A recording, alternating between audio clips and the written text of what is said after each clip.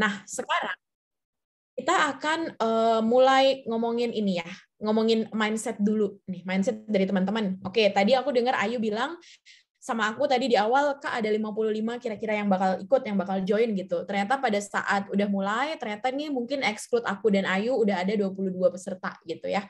Berarti ada sekitar lebih dari setengah peserta nggak jadi join nih Nah, sebenarnya emang permasalahan yang muncul mungkin masih dari stigma masalah fluent, fluency dalam bahasa Inggris atau enggak ya. Uh, nggak apa-apa sebenarnya, itu adalah choice atau pilihan kalian yang kalian buat ya.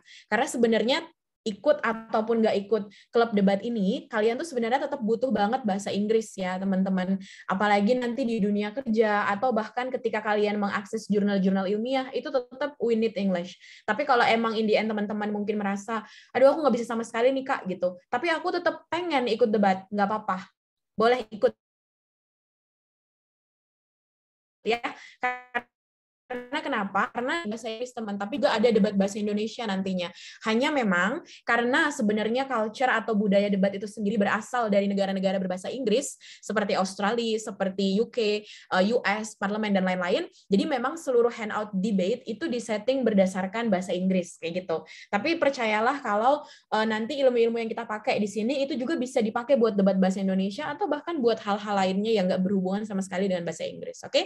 Nah, jadi sekarang we are going to talk about debate in general ya. Jadi teman-teman harus punya mindset ini kalau tujuan teman-teman nanti join dari uh, grup PICC ini ataupun join dari debate practice ini, tujuan kita ini ya teman-teman adalah kita pengen ikut turnamen kita nanti pengen ikut competition. Competitionnya nggak tahu kompetisi apa yang mungkin nanti akan ke depannya teman-teman ikut, karena setahu aku di setiap universitas debat itu termasuk salah satu lomba yang prestis. Jadi kayak lomba yang dielu-elukan gitu, yang sangat di ya yang sangat disukain lah, yang sangat membanggakan bisa dibilang ya.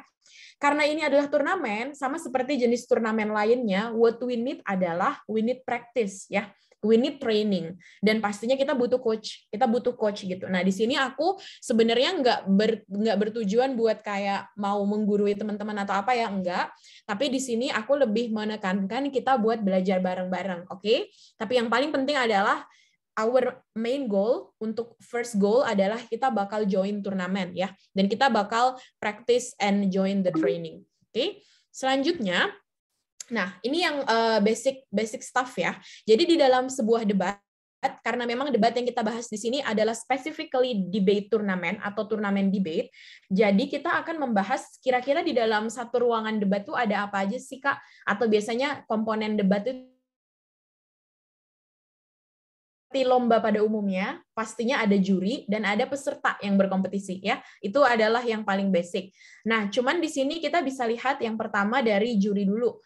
Adjudicator atau judges yang ada di dalam sebuah kompetisi debat di dalam ruangan itu berbeda juga kalau sistemnya British Parliament atau sistemnya Asian Parliamentary. Nah, di sini aku lihat, aku aku tulis di sini kalau misalkan di dalam British Parliament jumlah atau komposisi juri itu boleh ganjil dan boleh genap ya jadi nanti teman-teman nggak usah bingung nih misalkan kayak kak kok lomba lomba itu kak jurinya ada empat gitu. Terus kok yang satunya ini jurinya ada tiga gitu misalkan. Karena emang mungkin beda sistem tapi bisa jadi di dalam sistem British Parliamentary maupun dia mau ada satu tiga dua empat lima pokoknya ganjil ataupun genap jumlahnya jumlah jurinya itu nggak apa-apa. Kenapa nggak apa-apa teman-teman? Karena di sistem perlombaan British Parliamentary soal juri-juri itu menentukan kemenangan, siapa aja yang menang dan siapa yang kalah dalam ruangan, itu mereka menggunakan yang dinamakan sistem conferring. Nah, conferring ini apa? Conferring itu kayak discussion. Jadi setiap juri itu akan saling bertukar pikiran nih. Jadi yang berdebat di dalam sistem lomba British Parliamentary itu bukan cuma pesertanya aja, tapi juga jurinya. Jurinya akan berdebat, akan saling adu argumen, kira-kira tim mana yang lebih bagus, yang pantas buat dikasih posisi pertama, posisi kedua, posisi ketiga, hingga posisi keempat. Karena kan ada empat tim ya di dalam British Parliamentary, oke? Okay? Selanjutnya, kalau kita ngebahas komposisi adjudicator di sistem Asian Parliamentary, kita karena aku udah jelasin tadi di awal, kita cuma punya dua ya di sistem Asian Parliamentary ada tim negatif, ada tim positif atau tim uh, government team, sama ada tim negatif atau oposisi, opposition team ya. Nah, di dalam tim ini dia harus ganjil, teman-teman. Kenapa? Karena sistem penjuriannya itu tidak menggunakan sistem discussion atau conferring, tetapi kita menggunakan sistem yang dinamakan voting. Jadi kayak voting gitu mana suara terbanyak. Jadi dia komposisi jurinya bisa satu, bisa tiga, bisa lima, dan seterusnya. Pokoknya nilai ganjil gitu. Ya, jadi dia nggak ada discussion. Dia cuma benar-benar murni keputusan dari juri itu sendiri. Mana yang dia menangin. Kayak gitu. Oke, okay? sampai sini jelas lah ya terkait masalah juri di dalam ruangan. Terus ini mengenai timnya tadi, dua tim untuk Asian Parliamentary dan empat tim untuk British Parliamentary atau. Nah, terus udah jelas juga kalau di dalam debate itu kita pasti akan nge-divide the team jadi dua. Jadi ada tim which which is supporting, jadi tim yang memang mendukung mosi dan tim yang opposing the motion kayak gitu. Nah, terus di sini ada lagi poin yang keempat. Poin yang keempat ini terlepas dari terlepas dari keseluruhan masalah juri, masalah tim atau masalah posisi tim, ini lebih kepada bagaimana sih sebenarnya di dalam debat itu Kak ketika dia udah ada mosi dan kita disuruh debat, apa yang harus kita lakuin gitu. Nah, aku selalu menekankan the main point is that you have to be brave to speak up. Jadi kalian harus bisa brave to speak, oke? Okay? Tapi you have to remember, you are not speaking based on your personal uh, preference. Misalkan contoh kayak kemarin aku jelasin, misalkan contoh nih, we talk about something that very sensitive. Anggaplah kita ngomongin sesuatu misalkan ya yang paling sensitif buat orang Indonesia pada umumnya tuh kalau bukan isu minoritas, pasti isu agama ya. Kita ngomong aja tentang masalah isu agama. Misal ada sebuah mosi yang mengatakan seperti ini. This house believe that religion is not important misal ada yang ngomong kayak gitu ya teman-teman, itu adalah mosi yang harus kalian debatin. How religion is not important. Oke, okay? jadi agama nggak penting gitu misalkan. Nah, in this position kita semua ini kan pasti punya agama nih, ya kan? Teman-teman semua di sini juga pasti ada yang percaya sama agama-agama tertentu gitu. Dan itu susah banget buat teman-teman menjelaskan kalau agama itu nggak penting karena menurut perasaan teman-teman nih, personal your personal preference, you want to prove that religion is always important. Nah, di dalam kondisi yang seperti ini teman-teman, teman-teman nggak boleh speak seperti itu kalau misalkan teman-teman ini ada di posisi government team yang teman-teman harus mendukung mosi untuk membuktikan bahwa mosinya membuktikan bahwa agama itu nggak penting gitu. Jadi teman-teman you have to be brave, you have to speak up based on your position. Your position itu either you are government team or either you are opposition team. So you are not trying to speak based on your personal preference, but based on your positions. Oke, okay? ini bisa di highlight ya teman-teman, karena ada banyak banget buat para debater-debater newbie, permasalahan yang paling utama yang didapetin adalah, kak, I cannot speak like that. Uh, it it against my belief gitu. Itu benar-benar melawan kepercayaan aku gitu misalkan. Nah justru itu sebenarnya itu nggak ada hubungannya sama kepercayaan kalian. Kenapa? Karena what happens in debate room it's only stay in debate room, oke? Okay? Jadi ketika kalian try to think about the the opposite point of view yang beda banget dari your personal preferences, sebenarnya itu adalah momen di mana kalian tuh mencoba untuk membuka perspektif kalian, untuk melihat sebuah isu tuh dari perspektif yang lain, bukan hanya dari perspektif apa yang paling kalian sukai, kayak gitu. Itulah kenapa teman-teman, if we say, oh iya dia di better ya, most likely di better will be very used to speak about many things dan kita bisa ngebahas apa aja dari berbagai perspektif. Kayak gitu ya, teman-teman. Oke, lanjut.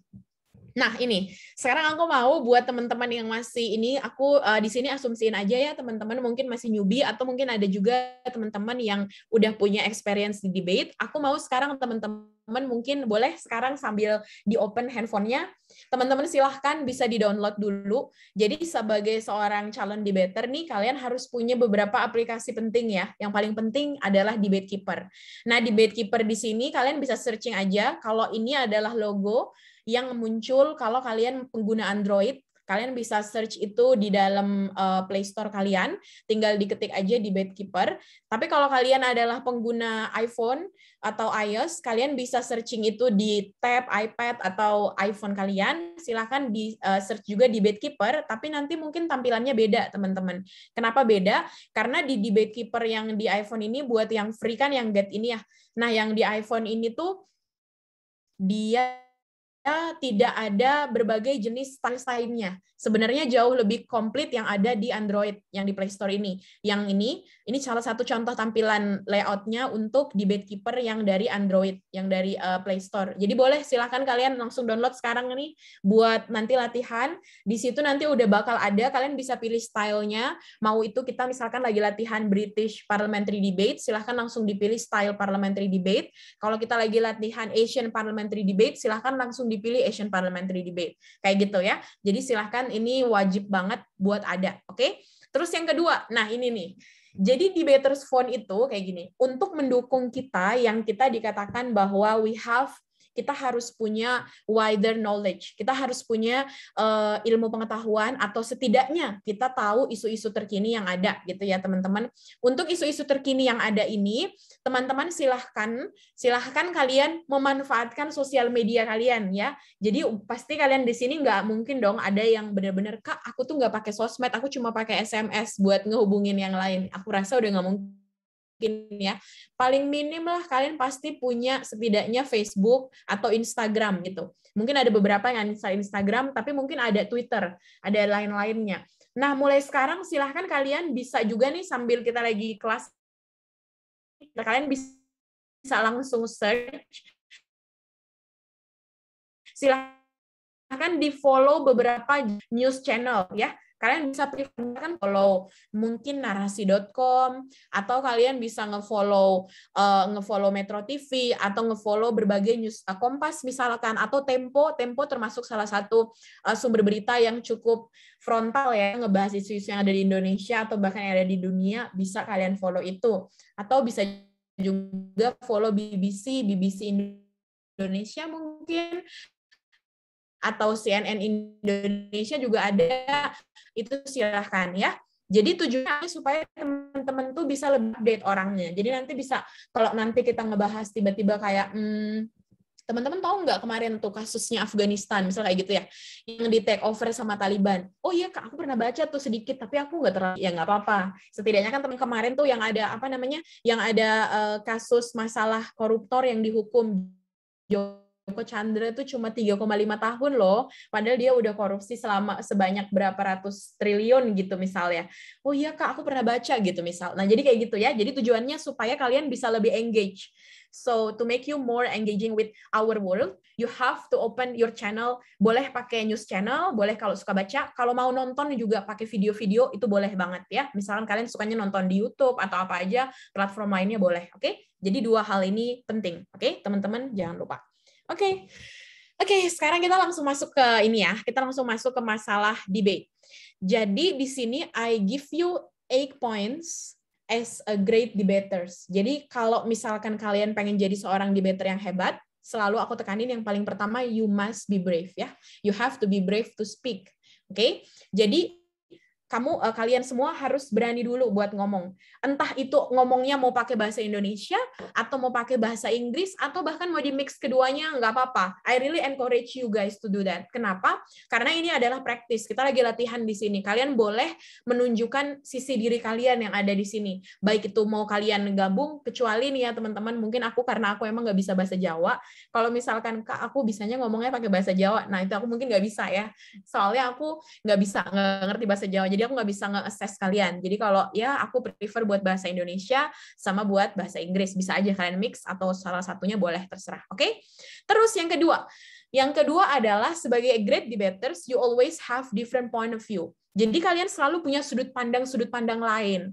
Kalian bisa membantah, kalian bisa menyanggah, kalian bisa memiliki ide-ide yang mungkin itu beda banget dari teman kalian gitu misalkan. Enggak deh, aku nggak pikir kayak gitu. It's okay, you may say it. Kalian boleh ngomongin tentang itu di sini ya. Di dalam forum debat ini semuanya boleh ngomong apa aja. Oke, okay? yang ketiga, yang keempat di sini aku sampai tekanin dua kali mengenai praktis ya. Jadi sama aja semua hal di dunia ini tuh kita bakal mahir, kita bakal jadi hebat kalau kita selalu latihan. Ya, jadi latihan. Jangan pernah uh, takut latihan atau jangan pernah malu buat datang latihan hanya karena kalian pikir aduh aku nggak bagus nih enggak tenang aja percaya aja kita semua belajar dari nol kita semua bakal belajar sedikit demi sedikit sampai nanti teman-teman tuh bisa setidaknya mencapai level intermediate setidaknya ya. Itu kayak gitu. Percaya aja kita pasti bakal praktis. Tapi teman-teman sama aja seperti di sekolah misalkan atau kayak di kuliah ya. Teman-teman kan dikasih kuliah cuma kayak dua jam sisanya dikasih tugas banyak gitu. Aku nggak bakal sih kasih kalian tugas banyak yang bikin kalian kayak sebel gitu enggak tapi di sini maksud aku adalah praktis itu bisa di mana aja teman-teman. Jadi kalau kalian merasa ada masalah kok aku agak susah ya kak buat ngomong bahasa Inggris? Try to speak with yourself. Coba kalau kalian lagi ngedumel atau marah-marah sama diri kalian sendiri tuh kadang-kadang kan suka ngomong-ngomong sendiri. Coba try to use your English misalkan. Cobalah bahasa Inggris Inggris, misal kayak gitu. Jadi kalian bisa praktis di mana aja. Karena di dalam meeting ini pure kita hanya akan ngebahas tentang masalah debat aja. Dan tapi debat itu luas by the way. Jadi ada berbagai topik yang nanti kalian bisa bisa eh, sharing session, bisa aja share your point, your ideology, your idea, apa aja boleh di-share di dalam ruangan debat ini. Kayak gitu ya, meskipun kita cuma ruang virtual. Nah, terus yang kelima, nah ini baru salah satunya untuk membuktikan bahwa praktis kalian dan keberanian kalian nih buat speak up itu udah oke, okay, you have to join tournaments ya. Jadi kalian harus bisa ikut kompetisi. Nah, di dalam kompetisi ini yang perlu ditekankan gini, biasanya para newbie-newbie debater selalu bilang gini, aku nggak mau deh kak ikut kompetisi, aku pasti kalah. Pasti banyak banget yang ngomong kayak gitu ya. Aku pasti kalah nih kak, aku susah banget nih buat menang gini-gini, aku jelek, kayak gitu misal. Nah, guys, what you have to keep in your mind, joining the competition or tournament is not only joining the tournament to win the tournament, oke? Okay? Jadi kita bukan join competition buat menang, but we join the competition untuk apa? Untuk gain exposure ya. Jadi itulah apa namanya salah kalau aku nggak salah ingat kemarin juga ada teman-teman yang nanya kak kalau misalkan lawan kita keren banget ngomongnya. Once ketika kita merasa lawan kita keren banget ngomongnya dan kita ngerasa kita nggak sekeren mereka sebenarnya itu terjadi karena kita gain less exposure. Karena kita jarang bertemu dengan lawan yang menurut kita keren banget itu. Kayak gitu teman-teman. Jadi ketika kalian join tournaments what you want to get is not win or lose tapi yang kalian dapat tuh adalah pengalamannya, exposure-nya pengalaman networking, kalian bisa ketemu orang-orang lain dan lain-lain lah. Terus bisa bisa belajar dari para juri-juri yang keren-keren, bisa belajar dari para lawan-lawan kalian yang juga mungkin keren-keren, kayak gitu. Nah, itu adalah gain exposure yang aku maksud ya. Jadi kalian menang atau kalah itu bukan itu bukan suatu tujuan gitu buat dalam turnamen. Meskipun memang you win the competition competition, you will be very proud. Dan not only you, tapi your institution. Pasti kampus kalian bakal bangga banget. Keluarga kalian bangga. It's just a reward kalau aku. Itu cuma hadiah aja buat kalian gitu ya. Jadi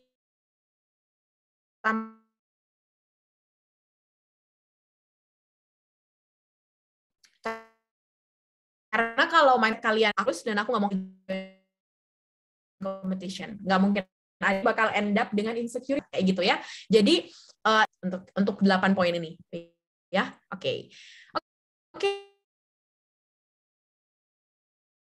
Nah, sekarang kita langsung bakal tentang apa yang penting ini. Kita akan mempelajari sebenarnya cuma empat poin doang. Empat poinnya kelihatan kecil ya, teman-teman. Tapi kita bakal, ini sebenarnya lumayan padat isinya 8 kali doang dan aku berharap semoga 8 kali ini nanti kalian udah bisa level uh, newbie, kalian udah setidaknya bisa ada di level intermediate di better ya. Jadi ada key points that we need to learn. Di sini ada empat. Yang pertama, ini kemarin udah aku jelasin di dalam apa namanya di meeting yang kemarin, tapi nggak tahu teman-teman datang semua atau enggak. Jadi aku bakal ngulang di bagian ini. Yang pertama adalah how to identify the context of the motion. Jadi ini penting banget. Kenapa ini penting teman-teman? Karena sebenarnya sebelum teman-teman tuh ngebahas argumenku jelek ya kak, argumenku bagus ya kak, kita nggak bahas itu dulu teman-teman. Yang harus benar-benar paten dan bagus adalah konteks mosinya kalian ngerti nggak?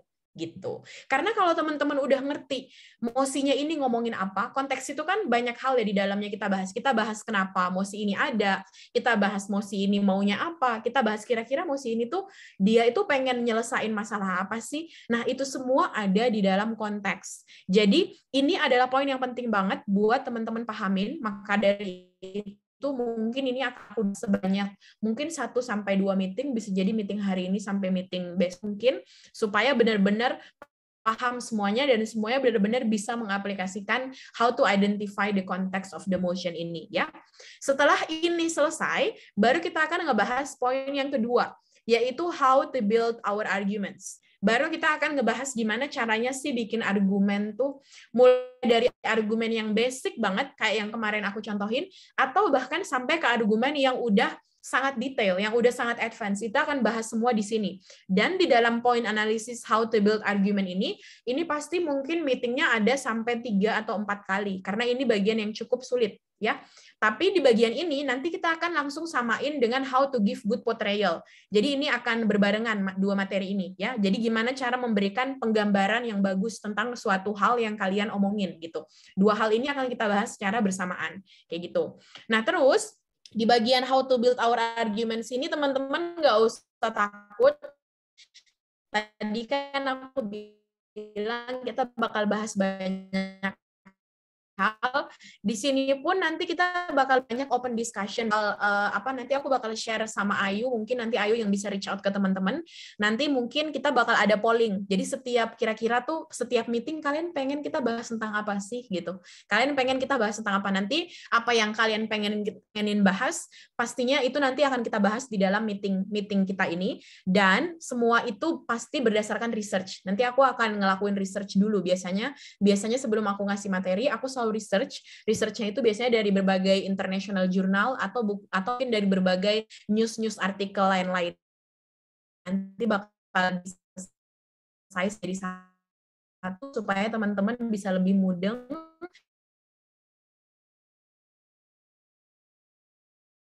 nyerap apa aja info ya. Di sini nanti bakal main padat nih di bagian ini sampai sini nyelipin masalah isu-isu bahas di situ. Oke. Okay? Lalu poin yang keempat adalah materi yang mungkin ini juga membutuhkan uh, 2 sampai 3 hit rebuttal. Jadi rebuttal itu adalah cara kita untuk menjatuhkan kasusnya lawan. Cara kita untuk uh, apa namanya? Uh, melau apa menyanggah menyanggah poin-poin lawan gitu. Jadi ini cara rebuttal, how to build great rebuttal bakal kita bahas juga di uh, meeting selanjutnya dan ini jadi poin yang terakhir yang bakal kita bahas, oke? Okay?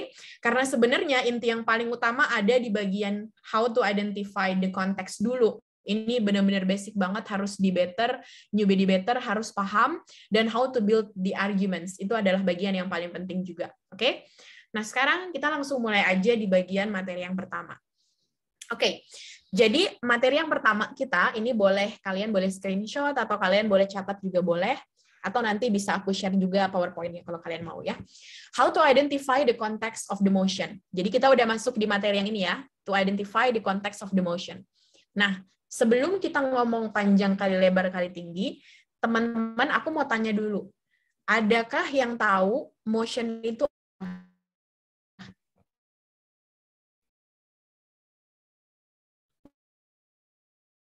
boleh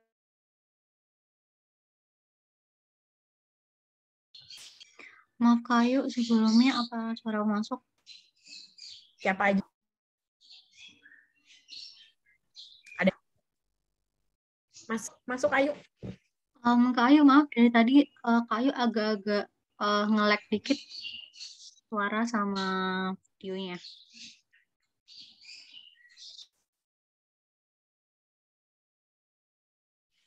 Ada yang mau jawab?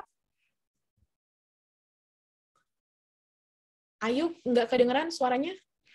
Um, Kak Ayu kayak uh, sinyalnya kurang stabil ya Kak. Soalnya dari tadi suaranya sama video agak ngelek-ngelek gitu. Oh gitu. Itu dari yang mana ya? Um, barusan kok yang nanya uh, motion barusan. Oh barusan yang nanya. Kalau yang tadi, yang panjang kali lebar kali tinggi tadi enggak? Agak sedetik-sedetik, cuma masih bisa dipahami kok. Oh, Oke, okay. bentar aku ganti ini dulu ya. Aku ganti koneksi.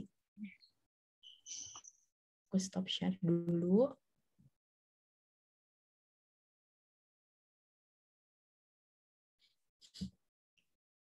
Tes tes. Kalau sekarang kedengeran jelas nggak ya? Jelas. Jelas kak. Oke, sorry ya teman-teman, aku nggak tahu ini apa namanya. Ayo harusnya ngasih tahu dari tadi. Oke, nggak apa-apa, nggak apa-apa.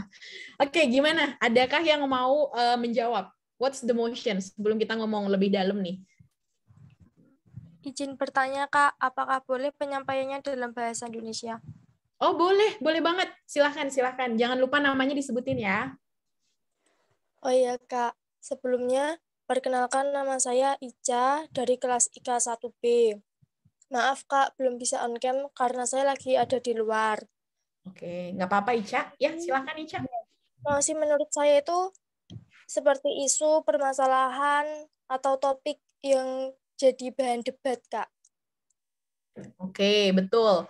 Betul banget. Oke, Ica, makasih banyak ya jawabannya. Betul. Jadi betul apa yang dikatain Ica. Mm -hmm. Jadi yang dikatain Ica tadi, uh, motion itu atau mosi itu adalah topik yang dibahas di dalam debat. It's true, kalau motion itu berarti itu adalah topik ya. Ingat, dia bukan tema. Oke, okay? dia bukan tema. Apa bedanya tema sama topik? Ada yang tahu nggak? Ada yang mau memberikan memberikan itu lagi, memberikan argumen? Izin jawab, Kak. Oke, boleh. Siapa nih namanya? Izin jawab. Satria. Oke, dari Satria. Informatika. Mm -hmm. Izin jawab. Eh, kalau menurut saya ya tema sama uh, topik itu bedanya tema itu lebih general, kalau mm -hmm. topik itu lebih spesifik. Oke. Okay. Gitu. True, betul. Betul Satria. Oke, terima kasih Satria sama Ica yang udah jawab ya pertanyaannya. Oke, bagus. Betul. Jadi kalau kita ngomongin motion, emang itu lebih spesifik ya. Jadi itu udah bukan tema lagi. Jadi ketika ini yang aku maksud. Jadi ketika teman-teman itu dibahas misalkan kayak kita ngebahas mosi tentang uh, this house would give that penalty for uh, koruptor, misal kayak gitu ya. Nah, itu kita emang itu bisa berada di dalam tema hukum dan politik. Bisa jadi itu hukum dan politik temanya. At, kalau di dalam debat kita biasa sebut itu namanya heading gitu. Jadi kayak apa aja sih kira-kira uh, tema besarnya gitu. Nah, tapi kalau motion kita bakal ngomong yang lebih spesifik lagi, oke? Okay? Nah, di sini ada tiga poin yang bakal kita bahas di meeting pertama ini. Yang pertama, motion identification yang kedua tentang problem identification dan yang terakhir tentang masalah stance. Kemarin udah aku bahas juga ini sedikit di dalam uh, apa namanya materi yang kemarin, tapi aku rasa itu terlalu cepat. Jadi mungkin teman-teman masih kurang nangkep ya. Jadi kita akan ngulangin di sini. Oke, okay? di sini ada empat ya, sama seperti yang kemarin. Tapi yang bagian empat ini kita nggak bakal bahas dulu tentang masalah key arguments karena kita belum sampai ke sana. Kita fokus dulu ke masalah portraying konteks tadi, jadi mengkontekstualisasi mosi. Oke, okay? yang pertama kita harus bisa mengidentify the motion. Terus yang kedua baru problem dan yang ketiga kita akan ngomongin tentang stance atau stance-nya kira-kira mau ke mana sih mosi ini gitu. Oke, okay? sekarang kita langsung masuk ke bagian identifying the motion. Seperti yang udah dijelasin juga, kalau mosi ada dua selalu ya. Ada yang namanya proposal motion, ada yang namanya value judgment motion. Oke, okay? kalau kalian perhatiin, namanya proposal berarti kita want to make policy. Kita ingin membuat suatu kebijakan yang itu belum ada untuk menyelesaikan masalah yang kita bahas di dalam mosi. Oke, okay?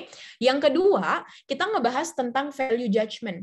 Value judgment mosi atau ini betul-betul adalah mosi yang kita katakan kita hanya perlu menilai apakah mosi atau topik yang dibahas itu betul atau salah does it right or wrong kayak gitu.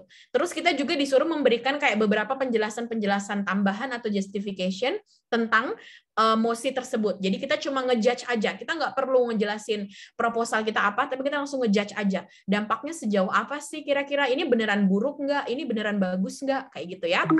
Nah terus sekarang bisa dilihat ini juga contohnya masih sama seperti yang kemarin, tapi di sini aku mau memberikan kalian hint. Jadi kayak ada hint sebenarnya teman-teman. Ketika kalian pengen mengidentify apakah motion itu proposal ataukah dia value judgment.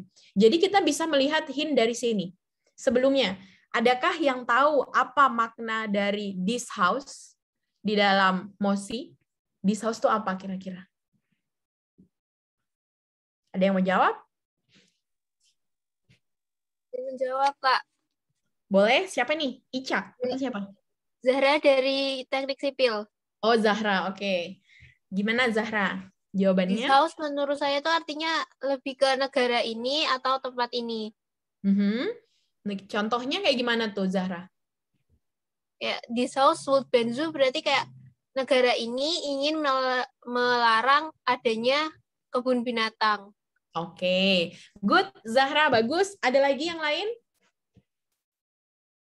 Ada lagi yang mau menambahkan Zahra? Ada lagi kah? Apa udah nggak ada nih? Oke, udah nggak ada ya. Berarti semuanya agree. Oke. Atau ada lagi? Coba. Saya Apakah siapa nih? Dea dari teknik mesin. Oke, Dea, teknik mesin. Gimana, Dea? Kalau menurut saya itu bukan ke negara sih lebih kayak ke kelompoknya yang dari apa misal oposisi atau uh, pemerintahnya itu loh yang kayak this house berarti maksudnya kami kami dari kelompok misal dari kelompok oposisi anu melarang adanya kayak gitu. Oke, Dea, Dea berarti melihatnya dari perspektif timnya ya, timnya oposisi atau tim eh, kontra gitu ya, tim oposisi atau tim pro gitu ya. Oke, good, itu Dea. Ada lagi yang punya ide lain? Saya gak. Siapa nih? Satria. Oh, Oke, Satria. Gimana Satria? Eh, menurut saya di saus itu lebih ke apa seluruh ini sih seluruh isi dunia gitu. Jadi satu Mhm. dunia. Mhm, Iya. mhm. Satu dunia tuh gimana Satria? Bisa kasih contoh? Eh, general eh, semua apa sih kontinen, iya. Kalau Oh, menurut jadi- saya. Jadi semua negara gitu, seluruh dunia gitu ya, cakupannya. Oke, oke, oke, baik. Thank you, Satria. Oke, ini kita udah punya tiga nih, udah punya tiga ya. Jadi tadi Zahra bilang kalau di South itu negara ini, jadi dia negara ini gitu yang pengen ngebenzu. Terus tadi Dea bilang itu adalah timnya, jadi timnya antara itu pro, berarti kalau misalkan pro, berarti tim pro ingin membenzu. Kalau dia ada, kalau dia negatif, berarti tim pro nggak ingin ngebenzu gitu ya. Terus kalau Satria bilang itu seluruh dunia, jadi all continents gitu, bukan cuma satu negara. Oke, ada lagi yang mau memiliki ide?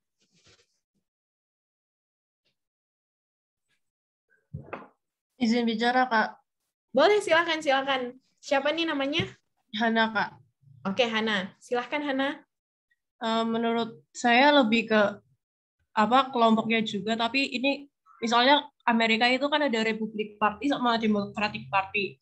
Menurut Mhm. saya di South itu lebih ke eh, penye, apa itu partinya. Oh, berarti maksudnya lebih ke party yang ada di dalam suatu negara itu ya? Entah itu dia left wing, right wing gitu ya?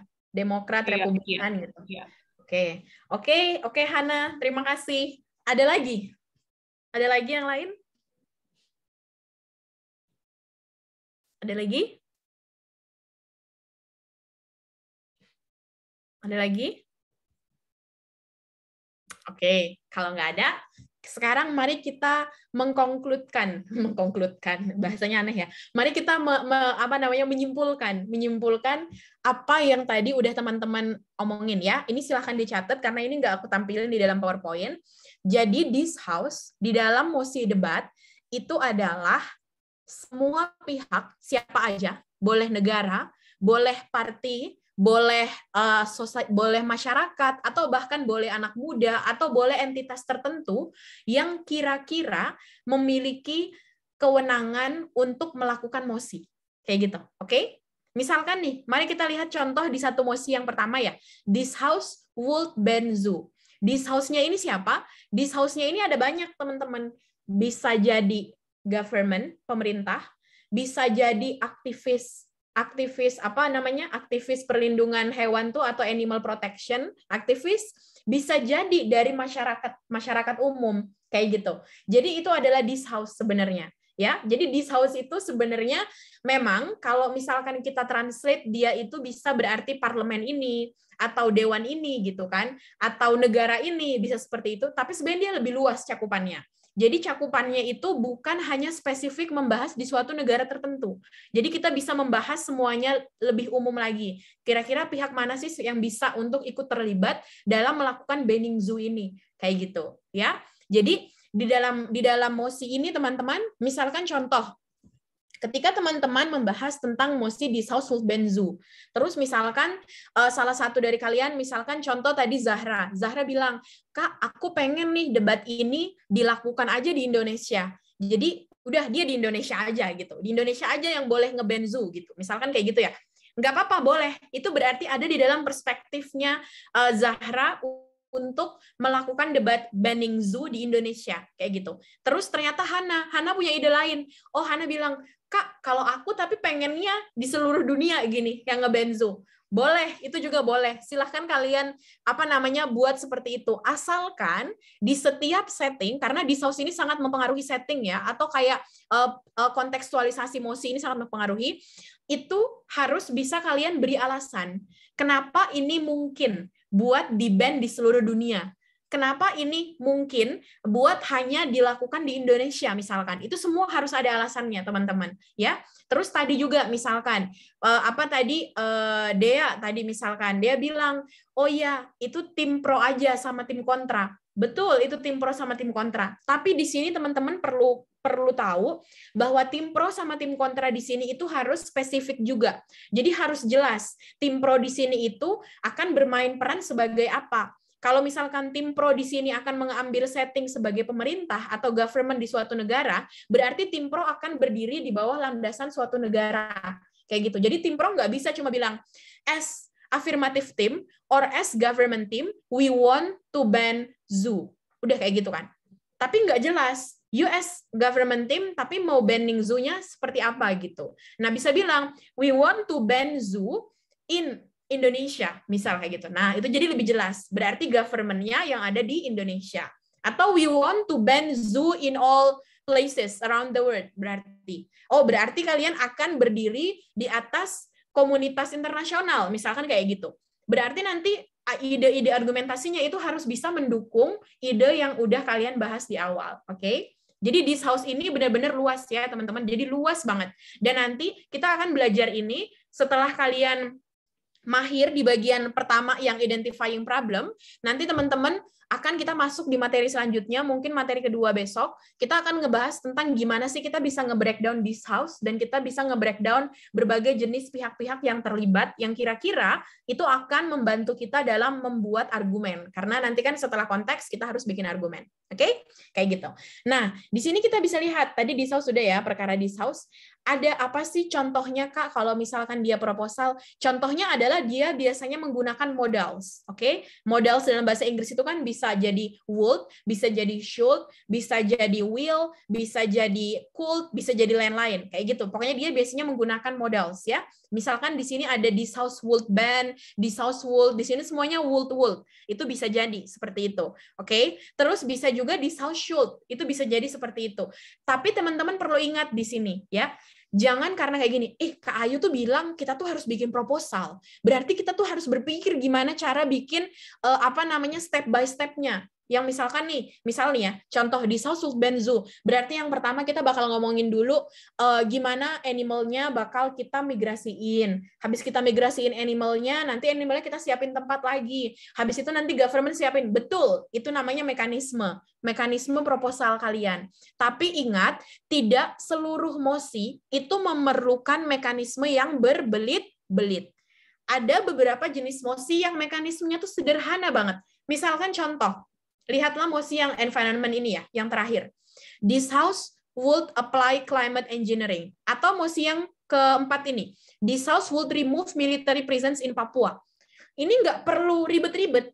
Langsung aja bilang, apa yang pengen kalian propose atau policy making apa yang pengen kalian propose ya udah kita pulangkan aja para militernya kita pulangkan aja para army yang ada di Papua udah kayak gitu doang itu udah kayak gitu teman-teman ya. Jadi kalian nggak perlu menjelaskan oke okay, firstly we need to uh, the at first we need to prepare our plane. We need to send helicopter to Papua. And then we need to migrate all this uh, all the apa namanya armies. After that enggak yang kayak gitu nggak perlu oke? Okay? karena kita ingat we just have 7 minutes and 20 seconds kita cuma punya waktu 7 menit 20 detik untuk menjelaskan keseluruhan poin yang teman-teman pengen bahas. So you have to make it as efficient as possible ya. Jadi seefisien mungkin kalian harus bisa membuat speech itu seperti itu. Karena ketika teman-teman menjelaskan misalkan panjang banget di bagian proposal ini, tapi teman-teman kayak aduh ini apa ya kok jadi bingung ya sendiri atau kayak kok muter-muter sendiri. Sebenarnya itu adalah pertanda kalau analisis kalian itu kurang baik kayak gitu. Bukan kurang baik atau bisa jadi kayak gini. Sayang-sayang kan kalau misalkan udah menjelaskan panjang lebar proposal, ternyata itu tidak tidak mendapatkan nilai yang besar untuk adjudicator. Nah, kayak gitu. Jadi nanti itu kita bakal belajar juga di next, oke? Okay? Nah, terus sekarang kita lihat lagi yang selanjutnya, yang value judgment. Value judgment biasanya dia ada di kata-kata seperti ini. This house believe that. Jadi this house believes that. Kalau di Indonesiain dewan ini percaya bahwa kayak gitu ya. Jadi intinya tugas dari tim pro cuma untuk membuktikan kepada audiens dan adjudicator untuk percaya terhadap mosi. Misal, kita lihat di bagian mosi gender equality ya. Kita lihat di sini ada this house believe that women is equal with men in all sector. Jadi yang perlu kalian buktikan adalah cuman seberapa setaranya perempuan di berbagai sektor dengan laki-laki isinya bisa aja tentang gimana sih sekarang how women in education already perform well. Gimana perempuan di tingkat pendidikan udah bagus nih. Terus kalau kita ngomongin all sector kan ada banyak ya, ada sosial. How women have opportunity to work in our social sector, our economic life. Mereka bisa menjadi leader in a company. Mereka bisa bahkan menjadi presiden in a politic. Means that that's equal. What we mean by equal. Kayak gitu misal. Atau kalau misalkan kalian jadi tim uh, apa namanya kontra atau tim oposisi di sini opposition. Kalian hanya perlu membuktikan kalau women is not equal with men in all sector. Misalkan ada yang mau membahas tentang masalah kayak gini. Women might be equal in the sector of education, but most likely it only happen in developed countries. Jadi kalian membawa settingnya ke mana? Ke negara berkembang gitu. Jadi settingnya dibawa ke sana. Nah, meanwhile, another women in another word or in other sides of the world, misalkan mereka yang ada di underdeveloped atau developing country, still have the trap in education, in performing their uh, politician or politics career, atau bahkan yang paling simple in a family, kan kayak gitu. Bahkan di dalam family we still have hierarchy about women that we women should always only stay at home misalkan. Women only uh, can worship the husband entire life, misalkan kayak gitu. We say it's not equal, misalkan kayak gitu ya teman-teman. Nah, jadi tujuan kalian sebagai tim ketika ada mosi value judgment hanya meyakinkan juri. Apakah mosi ini betul? Is that right? Or kalau kalian ada di posisi oposisi, is that wrong? Kayak gitu. Ya. Oke, teman-teman, sampai situ ya. Sampai situ itu adalah identifying the motion. Dan dia biasanya dicirikan. Jadi ada cirinya, dicirikan dengan kata this house believes that atau this house regrets atau bisa juga this house supports mendukung atau regrets atau ada juga yang bilang this house bla bla bla is misal uh, this house believe that ini women is equal bla bla bla kayak gitu ya this house believe that animal testing is never justified semua ini adalah value judgment Oke, teman-teman. Sampai sini kira-kira ngerti ya? Bisa ya ngikutin semuanya? Oke, kita lanjut. Nah, sekarang stance identification. Ini mirip seperti ini sama seperti materi yang kemarin. Aku pengen menekankan lagi karena ini sebenarnya sangat sederhana. Ini sederhana tapi perlu banget teman-teman resapi ya. Jadi stance identification, stance itu apa? Masih ada yang ingat kemarin aku jelasin stance itu apa teman-teman? Atau mungkin ada yang udah pernah dengar sebelumnya? Boleh silahkan lagi menjawab. Stance itu apa? Adakah yang mau menjawab?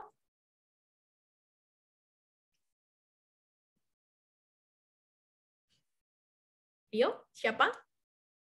Stance itu apa? Silahkan langsung mute boleh. Kalau ada yang mau sambil makan, sambil minum juga boleh. Apa nih stance?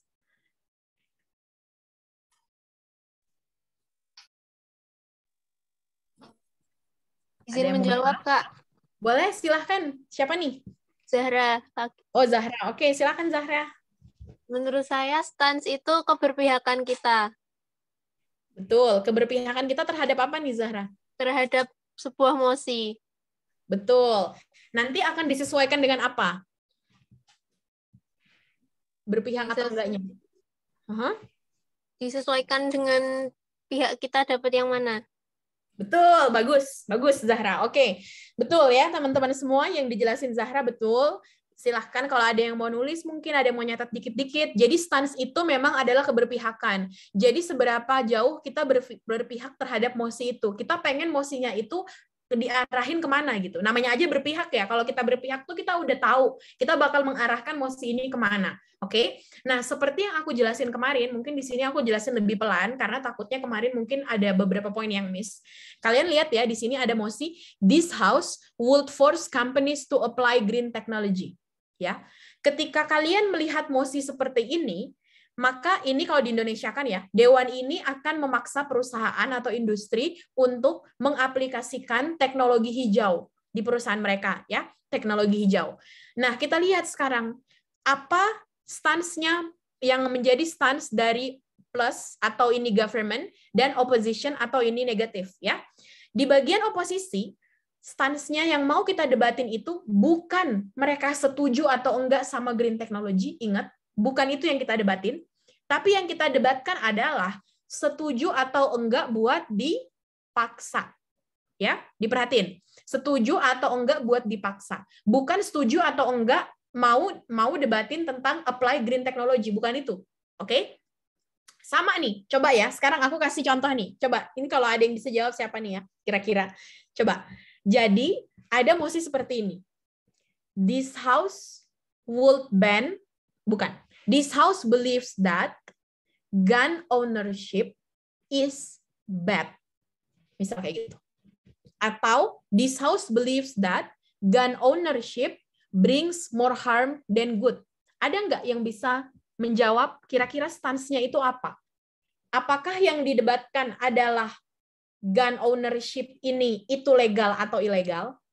Atau yang didebatkan adalah gun ownership ini itu brings more harm than good, membawa lebih banyak keburukan atau kebaikan. Coba ada yang mau bersuara? Silahkan, siapa aja boleh. Berhubungan nih sama stance ini. Ada? Gun ownership, by the way, kepemilikan senjata. Adakah? Boleh, boleh. Coba aku ulang lagi ya, aku ulang. Jadi di Mosi ini kalian bisa lihat, this house would force companies to apply green technology. Dewan ini akan memaksa perusahaan untuk mengaplikasikan teknologi hijau. Yang didebatin di dalam debat ini bukan apakah perusahaan setuju atau enggak untuk mengaplikasikan green technology, tapi lebih kepada setuju atau enggak buat memaksa perusahaan. Jadi intinya ada di kata force ini. Kita setuju atau enggak buat maksa perusahaan. Oke? Okay? Makanya kalau kalian perhatiin di dalam analisis stance yang pertama, kalian harus bisa menentukan similarities atau persamaan apa sih yang kira-kira akan ada di posisi negatif maupun positif. Yaitu kalian berdua itu setuju dengan green technology. Cuman perbedaannya adalah ada di sini. Kita agree untuk teman-teman yang positif agree untuk force, tapi yang negatif itu disagree to force. Kayak gitu, ya. Nah, ketika ada mosi, this house believes that gun ownership brings more harm than good. Dewan ini percaya bahwa kepemilikan senjata membawa lebih banyak dampak buruk atau dampak daripada dampak baik. Kira-kira menurut teman-teman, debatnya itu akan mendebatkankah lagi mengenai kepemilikan senjata ilegal atau uh, legal, atau kita akan langsung membahas tentang gun ownership-nya ini yang membawa dampak baik atau buruk? Kira-kira yang mana? Adakah yang mau bersuara? Boleh? Pakai bahasa Indonesia boleh, pakai bahasa Inggris juga boleh. Silahkan. Um...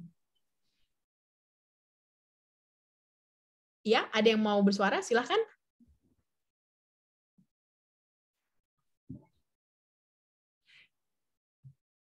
Silahkan, Hana ya?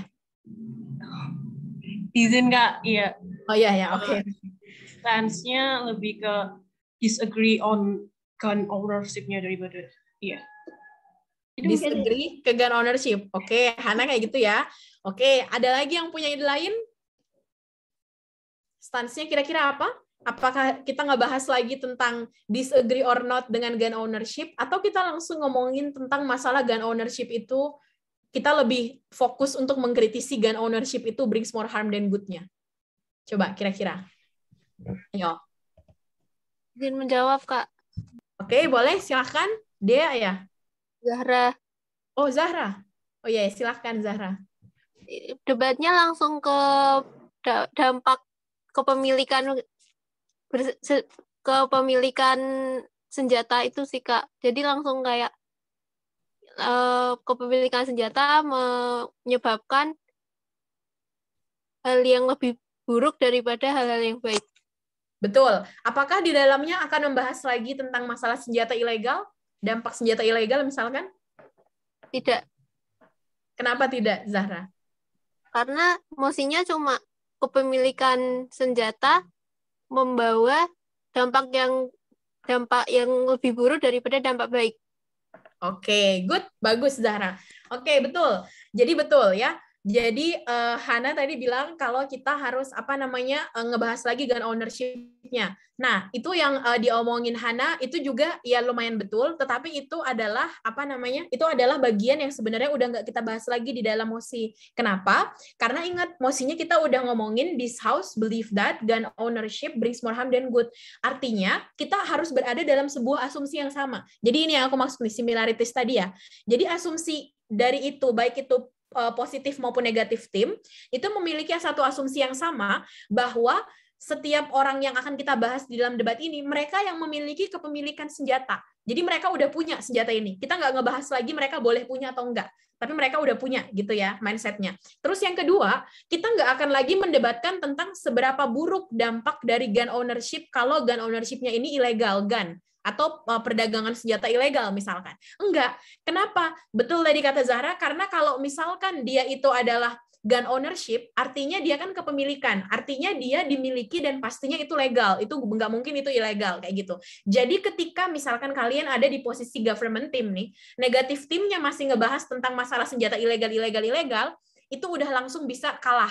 Bukan bisa kalah ya, tapi itu adalah sasaran yang sangat empuk kalau kata aku. Jadi itu adalah tim yang sangat empuk buat kalian uh, rebuttal atau buat kalian sanggah poinnya. Jadi kan bisa bilang aja kayak gini, we are not talking anymore about either it's legal or not to having the gun because our debate is only focusing on the idea of gun ownership itself. So what we need to do is that we just need to prove to you does this gun ownership that already obtained in legal way, just like in United States of America, brings more harm than good. Misalkan kayak gitu. Jadi itu yang harus kalian debatin, oke? Okay? Bisa ya sampai sini aku berharap kalian bisa ngerti ini sampai di sini karena sama seperti yang ada aku contohin yang di sini ya, yang uh, di sini motionnya itu. Oke? Okay? Kira-kira sampai sini bisa dipahaminkah atau ada yang mau ditanyakan dulu yang mungkin masih mengganjal gitu? Adakah? Yang aku lingkarin ini by the way itu adalah stance-nya tadi, stance dari Mosi ini. Itu. Jadi stance kalian ketika gun ownership tadi adalah apa? Satu, stance-nya adalah proof that gun ownership itu brings more harm. Kalau kalian jadi negatif, kalian bisa ngejelasin proof that gun ownership itu brings more good than harm. Oke? Okay?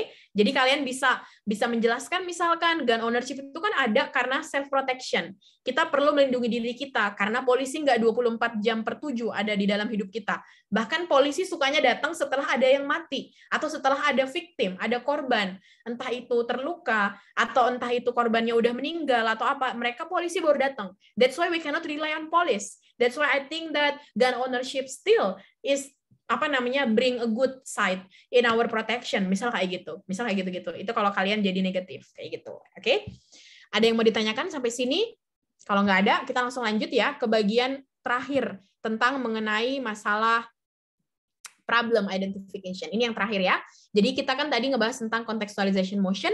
Di dalam identifying the problem kalian ada tiga bullets yang perlu kalian bahas. Ingat ini mindsetnya dulu ya. Jadi please make it as your mindset as debater. Jadi jadikan ini adalah uh, mindset kalian sebagai debater ya.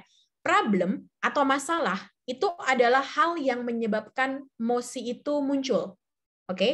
Itu selalu dipikirin seperti itu. Problem ini menyebabkan mosi itu muncul. Oke? Okay?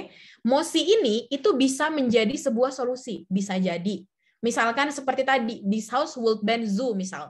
Masalahnya apa? Masalahnya animal abuse. Mengenai masalah animal apa apa namanya eh, perlakuan-perlakuan buruk lah yang sangat-sangat tidak memandang kemanusiaan kehewanan gitu misalkan ya. Masalah animal protection gitu. Nah, jadi mosinya itu muncul sebagai solusi, yaitu mosinya pengen menutup atau pengen melarang adanya kebun binatang misalnya gitu. Nah, tapi di dalam kalau misalkan mosinya value judgment gimana, Kak? Misal tadi tentang this house believe that gun ownership brings more harm than good. Berarti problem itu hanya muncul untuk menyebabkan mosi itu terjadi. Mosi itu tidak menjadi solusi, tapi mosi ini itu menjadi suatu kayak apa ya akibat dari adanya masalah. Jadi masalah itu kayak penyebab. Jadi kalau kita ngomongin sebab, akibat, sebabnya masalah, akibatnya ada mosi. Oke? Okay? Itu dulu ya yang perlu teman-teman pahamin. Silahkan itu ditanamkan di dalam pikiran teman-teman. Oke? Okay?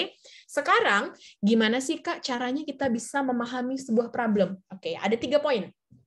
Yang pertama, kalian harus fokus kepada tren. Tren, itu tren, apa tren artinya? Tren itu adalah hal yang saat ini sedang in, atau yang saat ini sedang terjadi di kehidupan kita. Kalau kita membahas tren secara umum. Tapi perlu teman-teman sekarang pikirkan, tren di sini itu yang dimaksudkan adalah tren yang berhubungan dengan mosi. ya. Jadi yang ada hubungannya dengan mosi. Bukan tren yang kalian bikin-bikin. Misal contoh, this house World Band Zoo. Trennya apa kak? Trennya uh, ini, trennya banyak banget apa namanya? Apa ya kira-kira trennya? Terus kalian bingung gitu. Jadi langsung aja dipikirin tren yang saat ini sedang terjadi sama hewan tuh apa sih sebenarnya isunya? Entah itu animal eh apa namanya?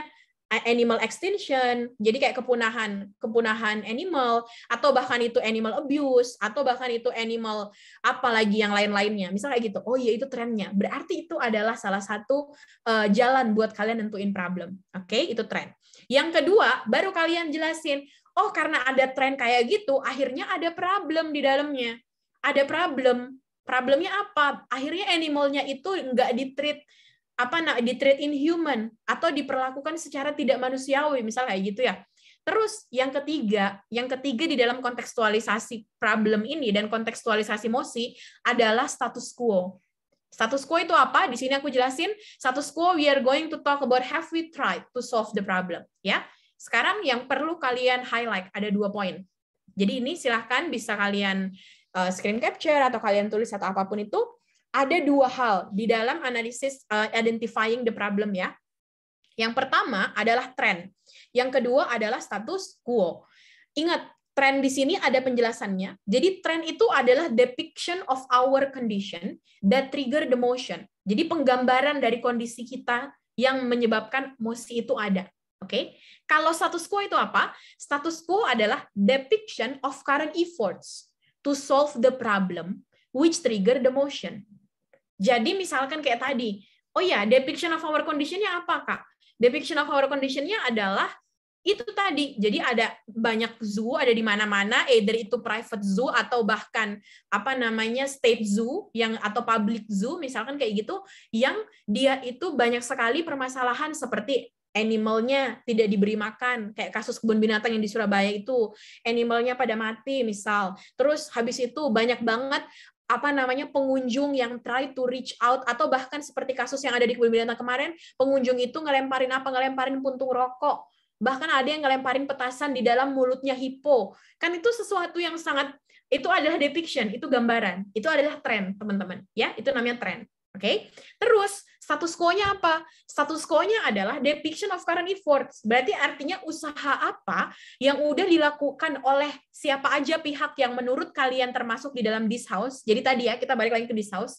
Yang menurut di dalam this house itu udah ngelakuin apa aja untuk menyelesaikan sesuatu yang ada di dalam tren ini. Masalahnya itu apa yang dilakuin?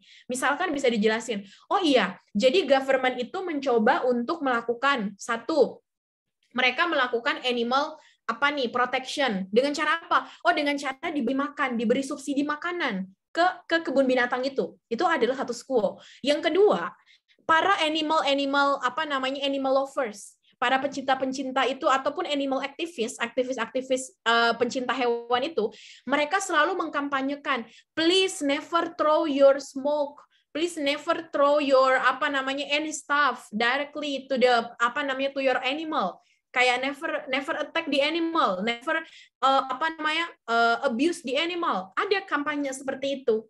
Tapi pertanyaannya adalah does the status quo enough or not? Apakah status quo itu enough atau enggak?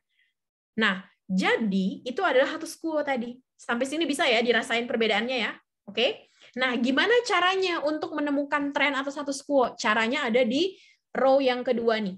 Kalau tren, kita akan menemukan tren dengan cara kita berpikir tentang sesuatu hal yang terjadi di hidup kita. Yang kira-kira itu bisa jadi terjadi di hidup kita, bisa jadi pernah kita baca, itulah tadi kenapa aku suruh pentingnya baca berita, bisa jadi pernah kalian dengar dari orang ngomong-ngomong, bisa jadi pernah kalian nonton. Itulah juga tadi aku minta kalian tuh lebih banyak sumber-sumbernya gitu, buat kalian lebih uh, lebih intuitif buat mencari sumber-sumber pengetahuan. Nah, setelah itu kalian menemukan berpikir tentang itu, coba dihubungkan pikiran yang kalian miliki itu dengan mosi kayak gitu. Jadi you think about something happening in our life, that correlates with the motion. Kayak gitu. Oke? Okay? Nah, terus selanjutnya adalah status quo. Kalau kita ngomongin status quo, berarti kan kita ngomongin tentang masalah usaha.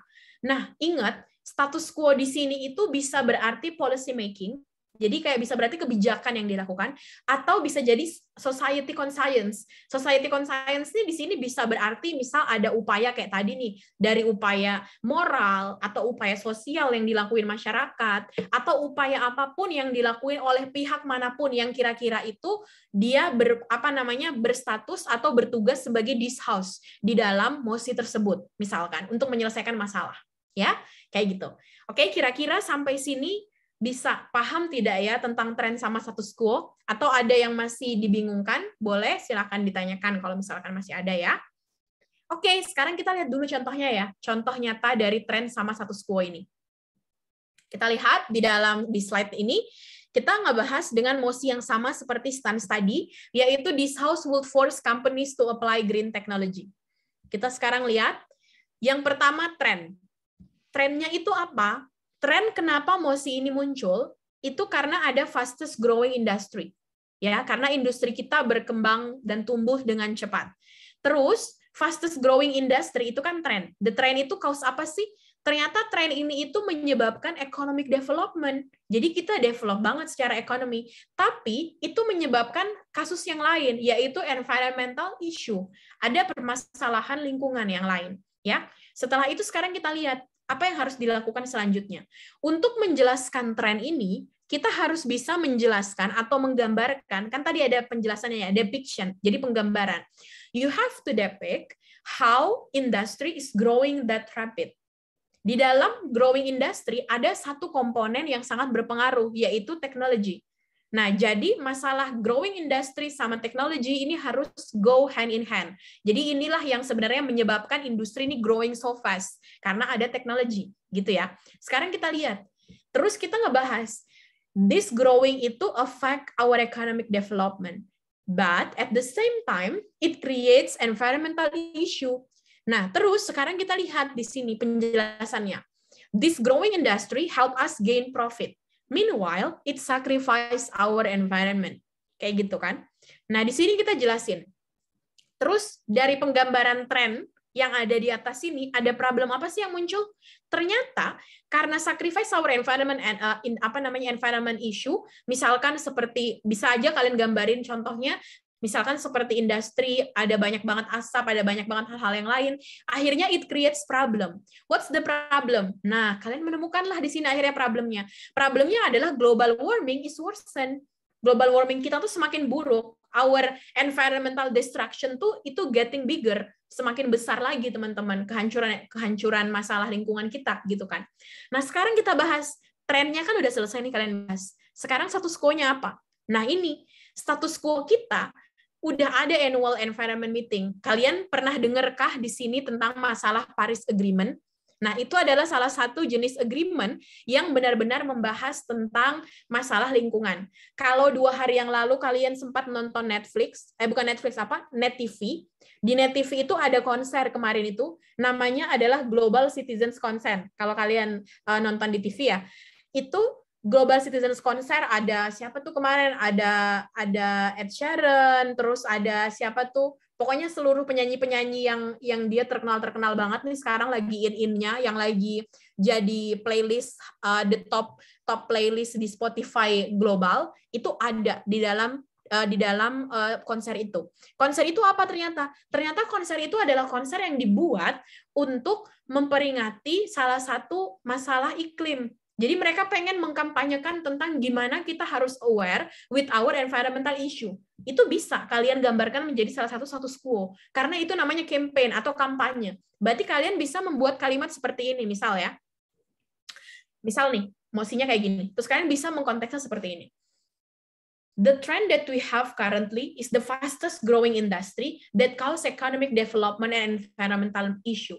Meanwhile, the trend also impacted by the growing of technology that help us to gain the profit.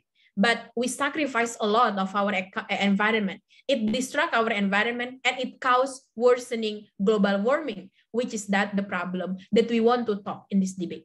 So now let's talk about status quo. How then our previous efforts try to solve the problem? First, we already conduct annual environmental meeting that we call as environmental summit from United Nations or even Paris Agreement to sign a white paper to commit to combat global warming and reduce gas emission. And second, we also have tried to campaign. We campaign toward the global actor, global actress, or even global singer, or even try to go as very phenomenal child, uh, child like Greta Thunberg campaign. We try to do that. And lastly, what we already tried is that we've tried to give green taxation. We give green taxation and we subsidize the companies that cut gas emission industries.